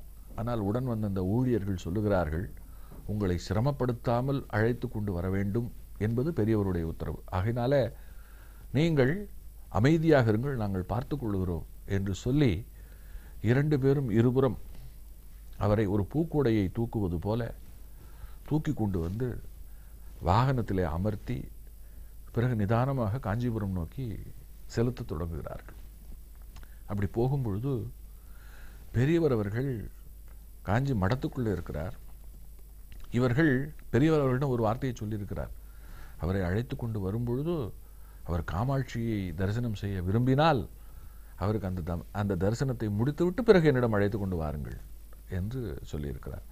அதன் பொருட்டு இவர்கள் காஞ்சிபுரத்திற்குள்ளே நுழைந்த உடனே கேட்கிறார்கள் நீங்கள் காமாட்சி அம்மனை தரிசனம் செய்ய வேண்டும் என்று விரும்பினால் நாங்கள் அழைத்துச் செல்கிறோம். அதற்கு பிறகு உங்களை நாங்கள் பெரியவரிடம் அழைத்துச் செல்கிறோம் என்று சொல்லவும் இவர்கள் இந்த பெரியவர் சொல்லுகிறார் வேண்டாம். முதலில் பெரியவரை நான் நமஸ்காரம் செய்ய வேண்டும். பிறகுதான் மற்ற எல்லாமே. எனக்கு ஒரு அற்புதமான வாய்ப்பு வந்திருக்கிறது. என்னவோ தெரியவில்லை. இன்று காலையிலே இருந்து ஒரே படபடப்பாகவும் இருக்கிறது. கண்கள் அடிக்கடி இருண்டு இருண்டு போகிறது. நான் ஒருவேளை இன்றைக்கே இறந்து விடுவேனோ என்று கூட எனக்கு தாபமாக இருந்தது. குறிப்பாக இன்றைக்கு காலை நான் சந்தியாவந்தனம் செய்யும் பொழுது பெரியவரை காயத்ரியை ஜபிப்பதை மறந்துவிட்டு பெரியவரை நான் மிக உச்சபட்சமாக நினைத்தேன். பெரியவா நீங்கள் இருக்கும் பொழுது உங்களை நடமாடும் தெய்வமாக நீங்கள் இருக்கும் பொழுது உங்களை தரிசனம் செய்யாமலே மரணிக்கிறேன் என்கின்ற ஒரு வருத்தம் எனக்கு.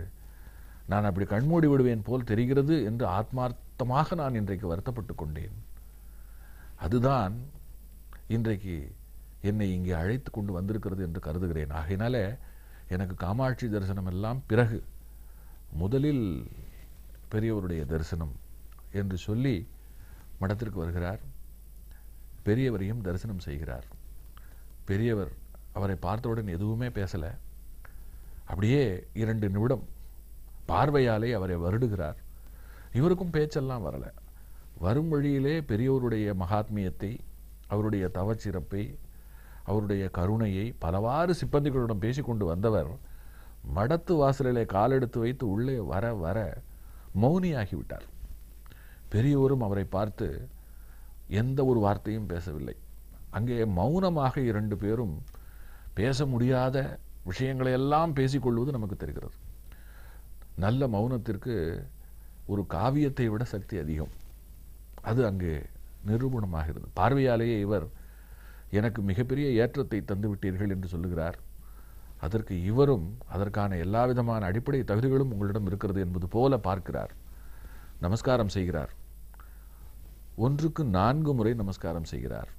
பெரியவர் போதும் என்று சொல்ல நான்காவது முறை நமஸ்காரம் செய்த நிலையிலே அப்படியே உயிர் பெறுகிறது இது அவருடைய வாழ்க்கையில் நடந்த ஒரு நிகழ்வூட்டக்கூடிய ஒரு சம்பவம். பெரியவர் எழுந்து உள்ளே சென்று ஒரு காஷாய வஸ்திரத்தை சிப்பந்தியிடம் கொடுத்து இதை போர்த்தி என்ன விதமாக நல்லடக்கம் செய்ய வேண்டுமோ அதை செய்யுங்கள் என்று சொல்லுகிறார். மடத்து வஸ்திரத்தை சாற்றிய நிலையில் அங்கே இருந்து அவருடைய உடம்பு இருக்கிறதே அது அகலுகிறது. அவர் துடித்த துடிப்பு தனக்கு மரணம் வந்துவிடும் என்று அவர் யூகித்தது. அதற்குள்ளாக அவருக்கு அவருடைய விருப்பத்தை நிறைவேற்ற வேண்டும் என்று பெரியவர் அவர்கள் எண்ணியது.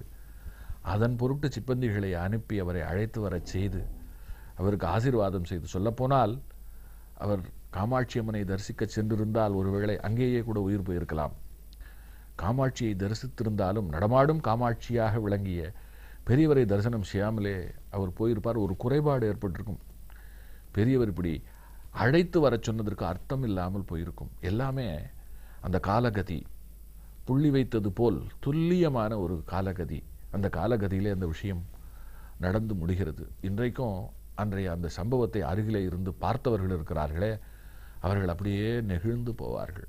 ஒரு வார்த்தை என்றால் ஒரு வார்த்தை பெரியவர் பேசவே இல்லை. காஷாயத்தை கொடுத்து அவருக்கு ஆசி நல்ல நிலையிலே உயிர் பிரிந்த நிலையிலே அவர் நிச்சயமாக மோட்சகதி அடைந்திருப்பார் என்பதை சொல்ல தேவையே இல்லை. இப்படி நாம் பக்தியோடு இருந்தால் போதும். நம்முடைய பக்திக்கு செவி சாய்ப்பதற்கு அவருக்கு தெரியும். அதுபோல் எத்தனை அனுபவங்கள் தொடர்ந்து சிந்திப்போம்.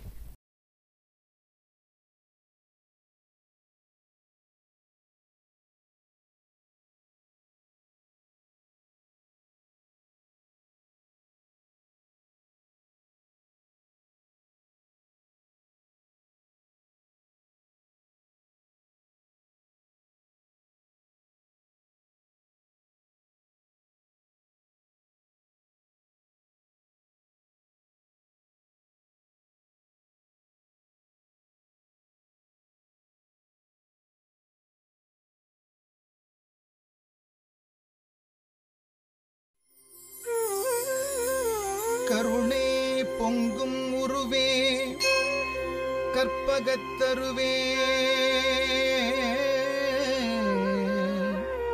காஞ்சி நகர் உரையும் காமகோட்டி குருவே காமகோட்டி குருவே காமகோட்டி குருவே.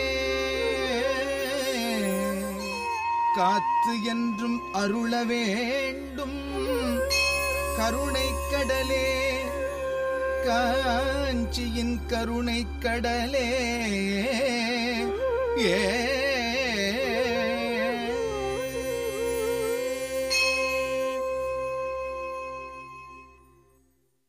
பொதிகை தொலைக்காட்சி நேயர் பெருமக்களுக்கு என்னுடைய அன்பு வணக்கம். காஞ்சியின் கருணைக்கடல் நிகழ்ச்சியில் பல அரிய சம்பவங்களை சிந்தித்து கொண்டிருக்கிறோம். ஒரு ஆசிரிய அன்பர் பெரியவரை தரிசனம் செய்யும் வேட்கையோடு திகழ்ந்ததையும் அதை மானசீகமாக உணர்ந்த நிலையிலே அவரை அழைத்து வரச் செய்து அவருக்கு தரிசனம் தந்து பெரியவரால் அவருக்கு முக்தி கட்டிய சங்கதியையும் நேற்றைய தினம் சிந்தித்தோம். இன்றைக்கும் அதுபோல ஒரு நெகிழ்வூட்டக்கூடிய ஒரு அனுபவம். தமிழகத்தில் மாயவரம். இன்றைக்கு மயிலாடுதுறை என்கின்ற பெயரிலே சிந்திக்கப்படுகின்ற ஒரு ஊர். இந்த ஊரிலே வேத விற்பனர்களுக்கு பெயர் பெற்ற ஊர் இந்த ஊர். இந்த ஊரிலே சிவராமகிருஷ்ண சாஸ்திரிகள் என்று ஒரு சாஸ்திரிகள் ஒருவர் வாழ்ந்து வந்தார். அவருடைய வாழ்க்கையில் நேரிட்ட ஒரு அற்புத அனுபவம் தான் இன்றைக்கு நாம் சிந்திப்பதற்கு.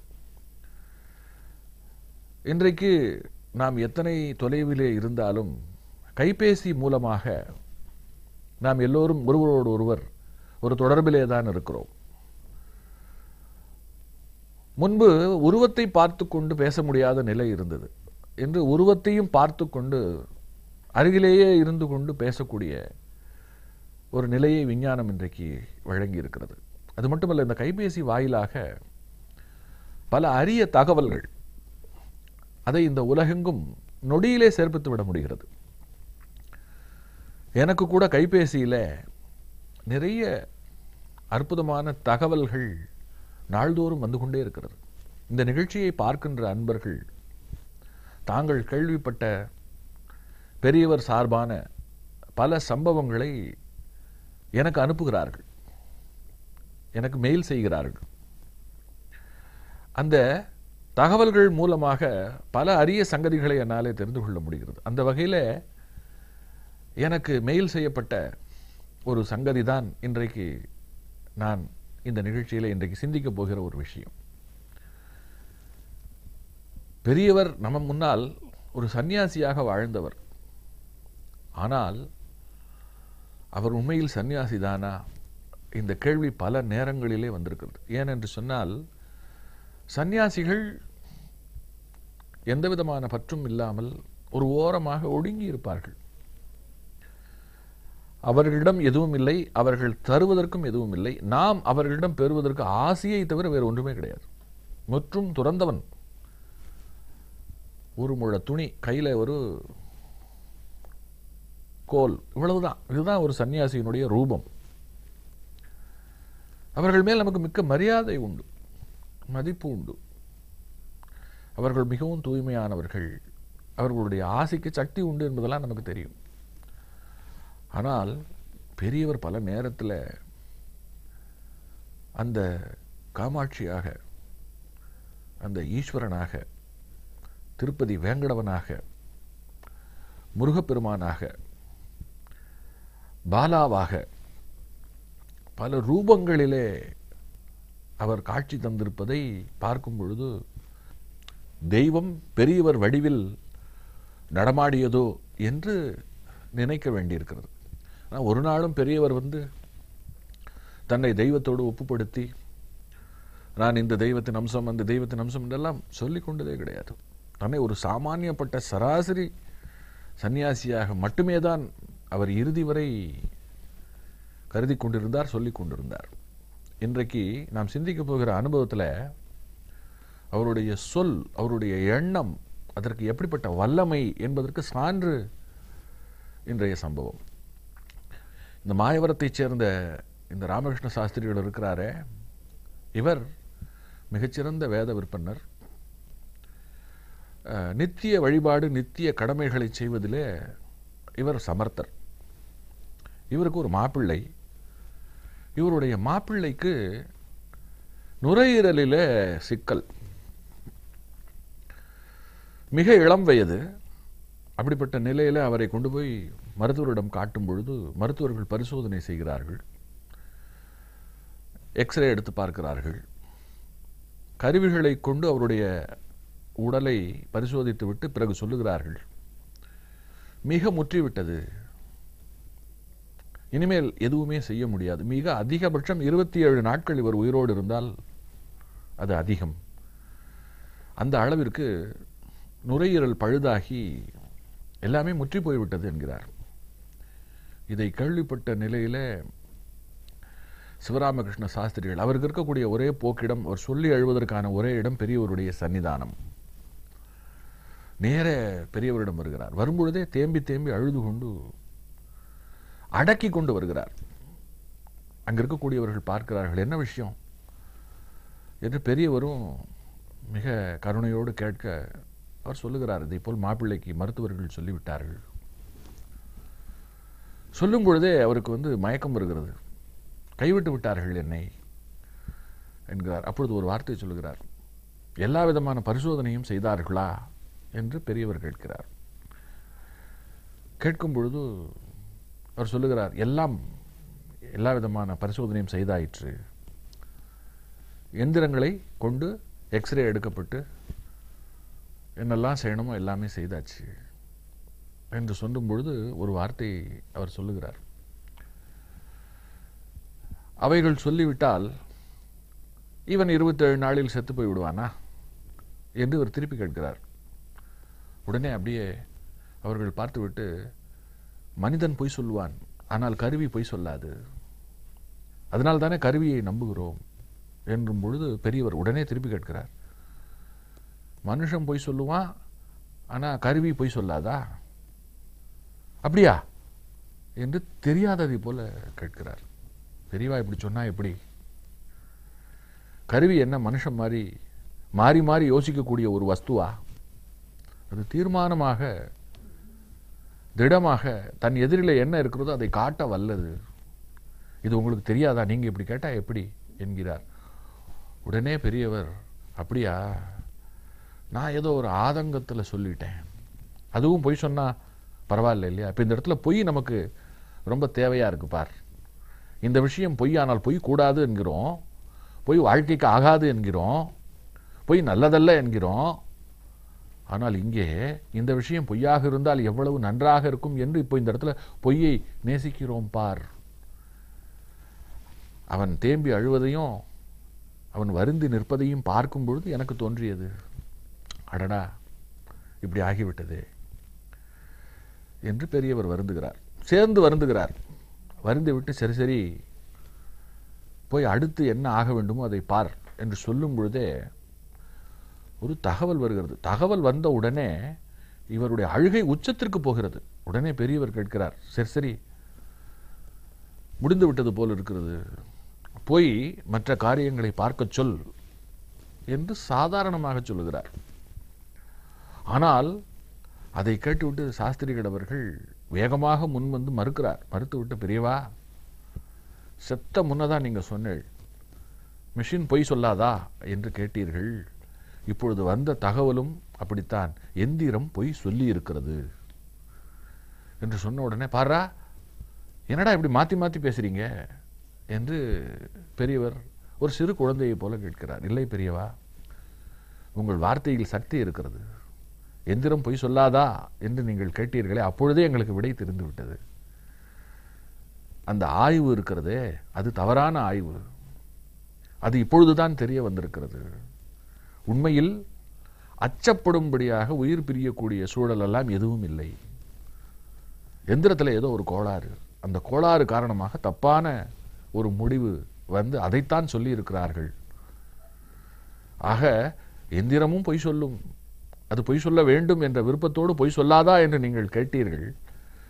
கேட்ட சில நிமிடங்களிலேயே அதற்கான விடை கிடைத்து விட்டது மாப்பிள்ளை பிழைத்து விட்டார் என்று சொல்லி சாஸ்திரிகள் மிகவும் சந்தோஷத்தினுடைய உச்சிக்கு போகிறார். இந்த சம்பவத்தை தன்னுடைய வாழ்க்கையில் பதிவு செய்திருக்கிற சாஸ்திரிகள் அவர்கள் இந்த இடத்துல இன்னொரு கருத்தை சொல்லுகிறார். பெரியவர் அனாவசியமாக ஒரு வார்த்தை இருக்கிறதே அதை கூட சொல்லுவதில்லை. ஒருவேளை பெரியவரா சொன்னார் என்று ஆச்சரியப்படும்படியாக ஏதாவது இருந்தால் அது நம்மை பொறுத்த மட்டில நிச்சயமாக அது ஏதோ ஒன்று நடக்கப் போகிற ஒன்று. அவருடைய சொற்கள் வேதம் போல். அவைகள் கட்டாயமாக அப்படியே பலிக்கின்றன. ஆனால் பலிக்க வேண்டும் என்று தான் ஒரு சக்தி படைத்தவன் என்கின்ற நோக்கத்தில் கர்வமாகலாம் அவர் அதை சொல்லுவதே இல்லை. ஒரு விருப்பம் போல் வெளியிடுகிறார். அவருடைய சொல் அப்படியே நிற்கிறது நின்று விடுகிறது. காரணம் சொல்லுகின்றவன் நான்மறை ஓதுகின்ற ஒரு சந்நியாசி. சத்தியமே வடிவானவன். சத்தியமே வடிவானவன் சொல்லுகின்ற ஒன்று பொய்யாக கூடாதல்லவா? அவர் அப்பேற்பட்ட ஒரு ரட்சகர் என்று சொல்லி அவருடைய கைப்பட்டு தருகின்ற அவருடைய ஸ்பரிசம் பட்டு வருகின்ற எல்லாமே அத்தகைய ஆற்றலோடு இருக்கிறது. ஒரு எந்திரம் வரையப்பட்ட ஒரு எந்திரம் ஒரு ஸ்ரீ எந்திரம் அந்த எந்திரத்தை அவர் தொட்டு தருகிறார். அதை வைத்து வீட்டிலே பூஜிக்கும் பொழுது அது எல்லையில்லாத ஆற்றலை அந்த இல்லத்திற்கு தந்து அது ஒரு கட்டி காப்பாற்றுகிறது. சமீபத்தில் ஒரு தகவல். அமெரிக்காவில் ஒரேகான் என்று ஒரு மாநிலம் இருக்கிறது. அந்த மாநிலத்தில் ஸ்டீன்ஸ் மலைத்தொடர். அந்த மலைத்தொடரில் தென்கிழக்கு பகுதியில் அது ஒரு பாலைவனம் போன்ற பகுதி. மிக நெருப்பு தகிக்கின்ற உஷ்ணம் மிக அதிகமாக இருக்கின்ற ஒரு பகுதி. அங்கே ஒருவர் விமானத்தில் பயணம் தனி விமானத்தில் பயணம் செய்கிறார்.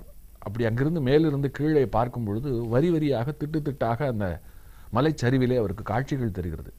இது என்ன திட்டு திட்டாக ஒரே சீராக இருக்கிறதே என்று ஆச்சரியப்பட்டு அவர் அதை சுற்றி வருகிறார்.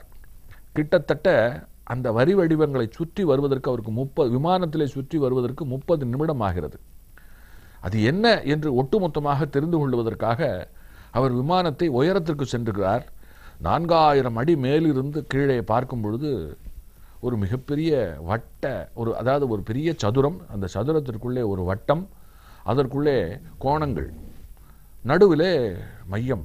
அவருக்கு வெகு வியப்பாக இருக்கிறது. இந்த மலைச்சரிவில் இத்தனை பெரிய அளவிலே அதாவது பதிமூன்று புள்ளி மூன்று சதுர மைல் அளவிலே எங்கே நான் சொல்லுவது அமெரிக்காவில் ஒரு காட்சி அதை அப்படியே படம் எடுத்து கொண்டு வந்து இது என்ன என்று தேடுகிறார். வலைத்தளத்திலே போய் அந்த படத்திற்கு ரிலேட்டடாக எத- அதற்கு தொடர்பாக படங்கள் இருக்கிறதா என்று பார்த்தால் அது அப்படியே நாம் இங்கே வணங்கி வழிபடுகின்ற ஸ்ரீ எந்திரத்தினுடைய படம். அமெரிக்காவின் ஒரேகான் மாநிலத்தில் ஸ்டீன்ஸ் மலை தொடரில் மனிதர்கள் நிற்கக்கூட இடமில்லாத நடமாடக்கூட முடியாத ஒரு இடத்துல பதிமூன்று புள்ளி மூன்று சதுர மைல் அளவில் ஒரு ஸ்ரீ சக்கரம் எப்படி பொறிக்கப்பட முடியும்? கிட்டத்தட்ட ஐந்து ஆண்டுகள் ஆய்வு செய்தும் அவர்களுக்கு அதற்கான விடை கிடைக்கல. ஒன்றே ஒன்றை மட்டும் அவர் உறுதியாக சொல்லுகிறார். இது மனிதர்களால் செய்யப்பட்டது அல்ல. இத்தனை துல்லியமாக துளி கூட பின்னமில்லாமல் வளைவில்லாமல் நெளிவில்லாமல் முப்பது நிமிட காலம் சுற்றி வந்தால் மட்டுமே பார்க்கக்கூடிய அளவிலே ஒரு விஷயத்தை இங்கே இந்த இந்த சக்கரம் என்பது இங்கே எப்படி வந்தது? இது இந்துக்கள் வழிபடுகின்ற ஸ்ரீயந்திரம் என்றால் இங்கே பல்லாயிரம் ஆண்டுகளுக்கு முன்பே இந்த வழிபாட்டு முறை இதை செய்யக்கூடிய அளவுக்கு ஆற்றல் மிக்க தேவர் பெருமக்கள் இருந்திருந்தால் அல்லவா இது சாத்தியம் என்று ஒரு பெரிய கேள்வியை எழுப்பியிருக்கிறார்கள். இன்றைக்கு வலைத்தளத்திலே ஒரு இந்த விஷயம் மிகப்பெரிய சிந்திக்கக்கூடிய ஒரு விஷயமாக இருக்கிறது. பெரியவர் சொன்ன பல சங்கதிகளோடு நாம் இதை கேட்கும் பொழுது நமக்கு இது ஒன்றும் பெரிய வியப்பாக இல்லை. வியப்புக்கெல்லாம் வியப்பாக நம்முடைய ஆன்மீகத்துக்குள்ளே பல சிறப்புகள் இருப்பதுதான் அவைகள் அனைத்திற்கும் காரணம். தொடர்ந்து இந்த வியப்புக்குரிய பல சங்கதிகளை சிந்திப்போம்.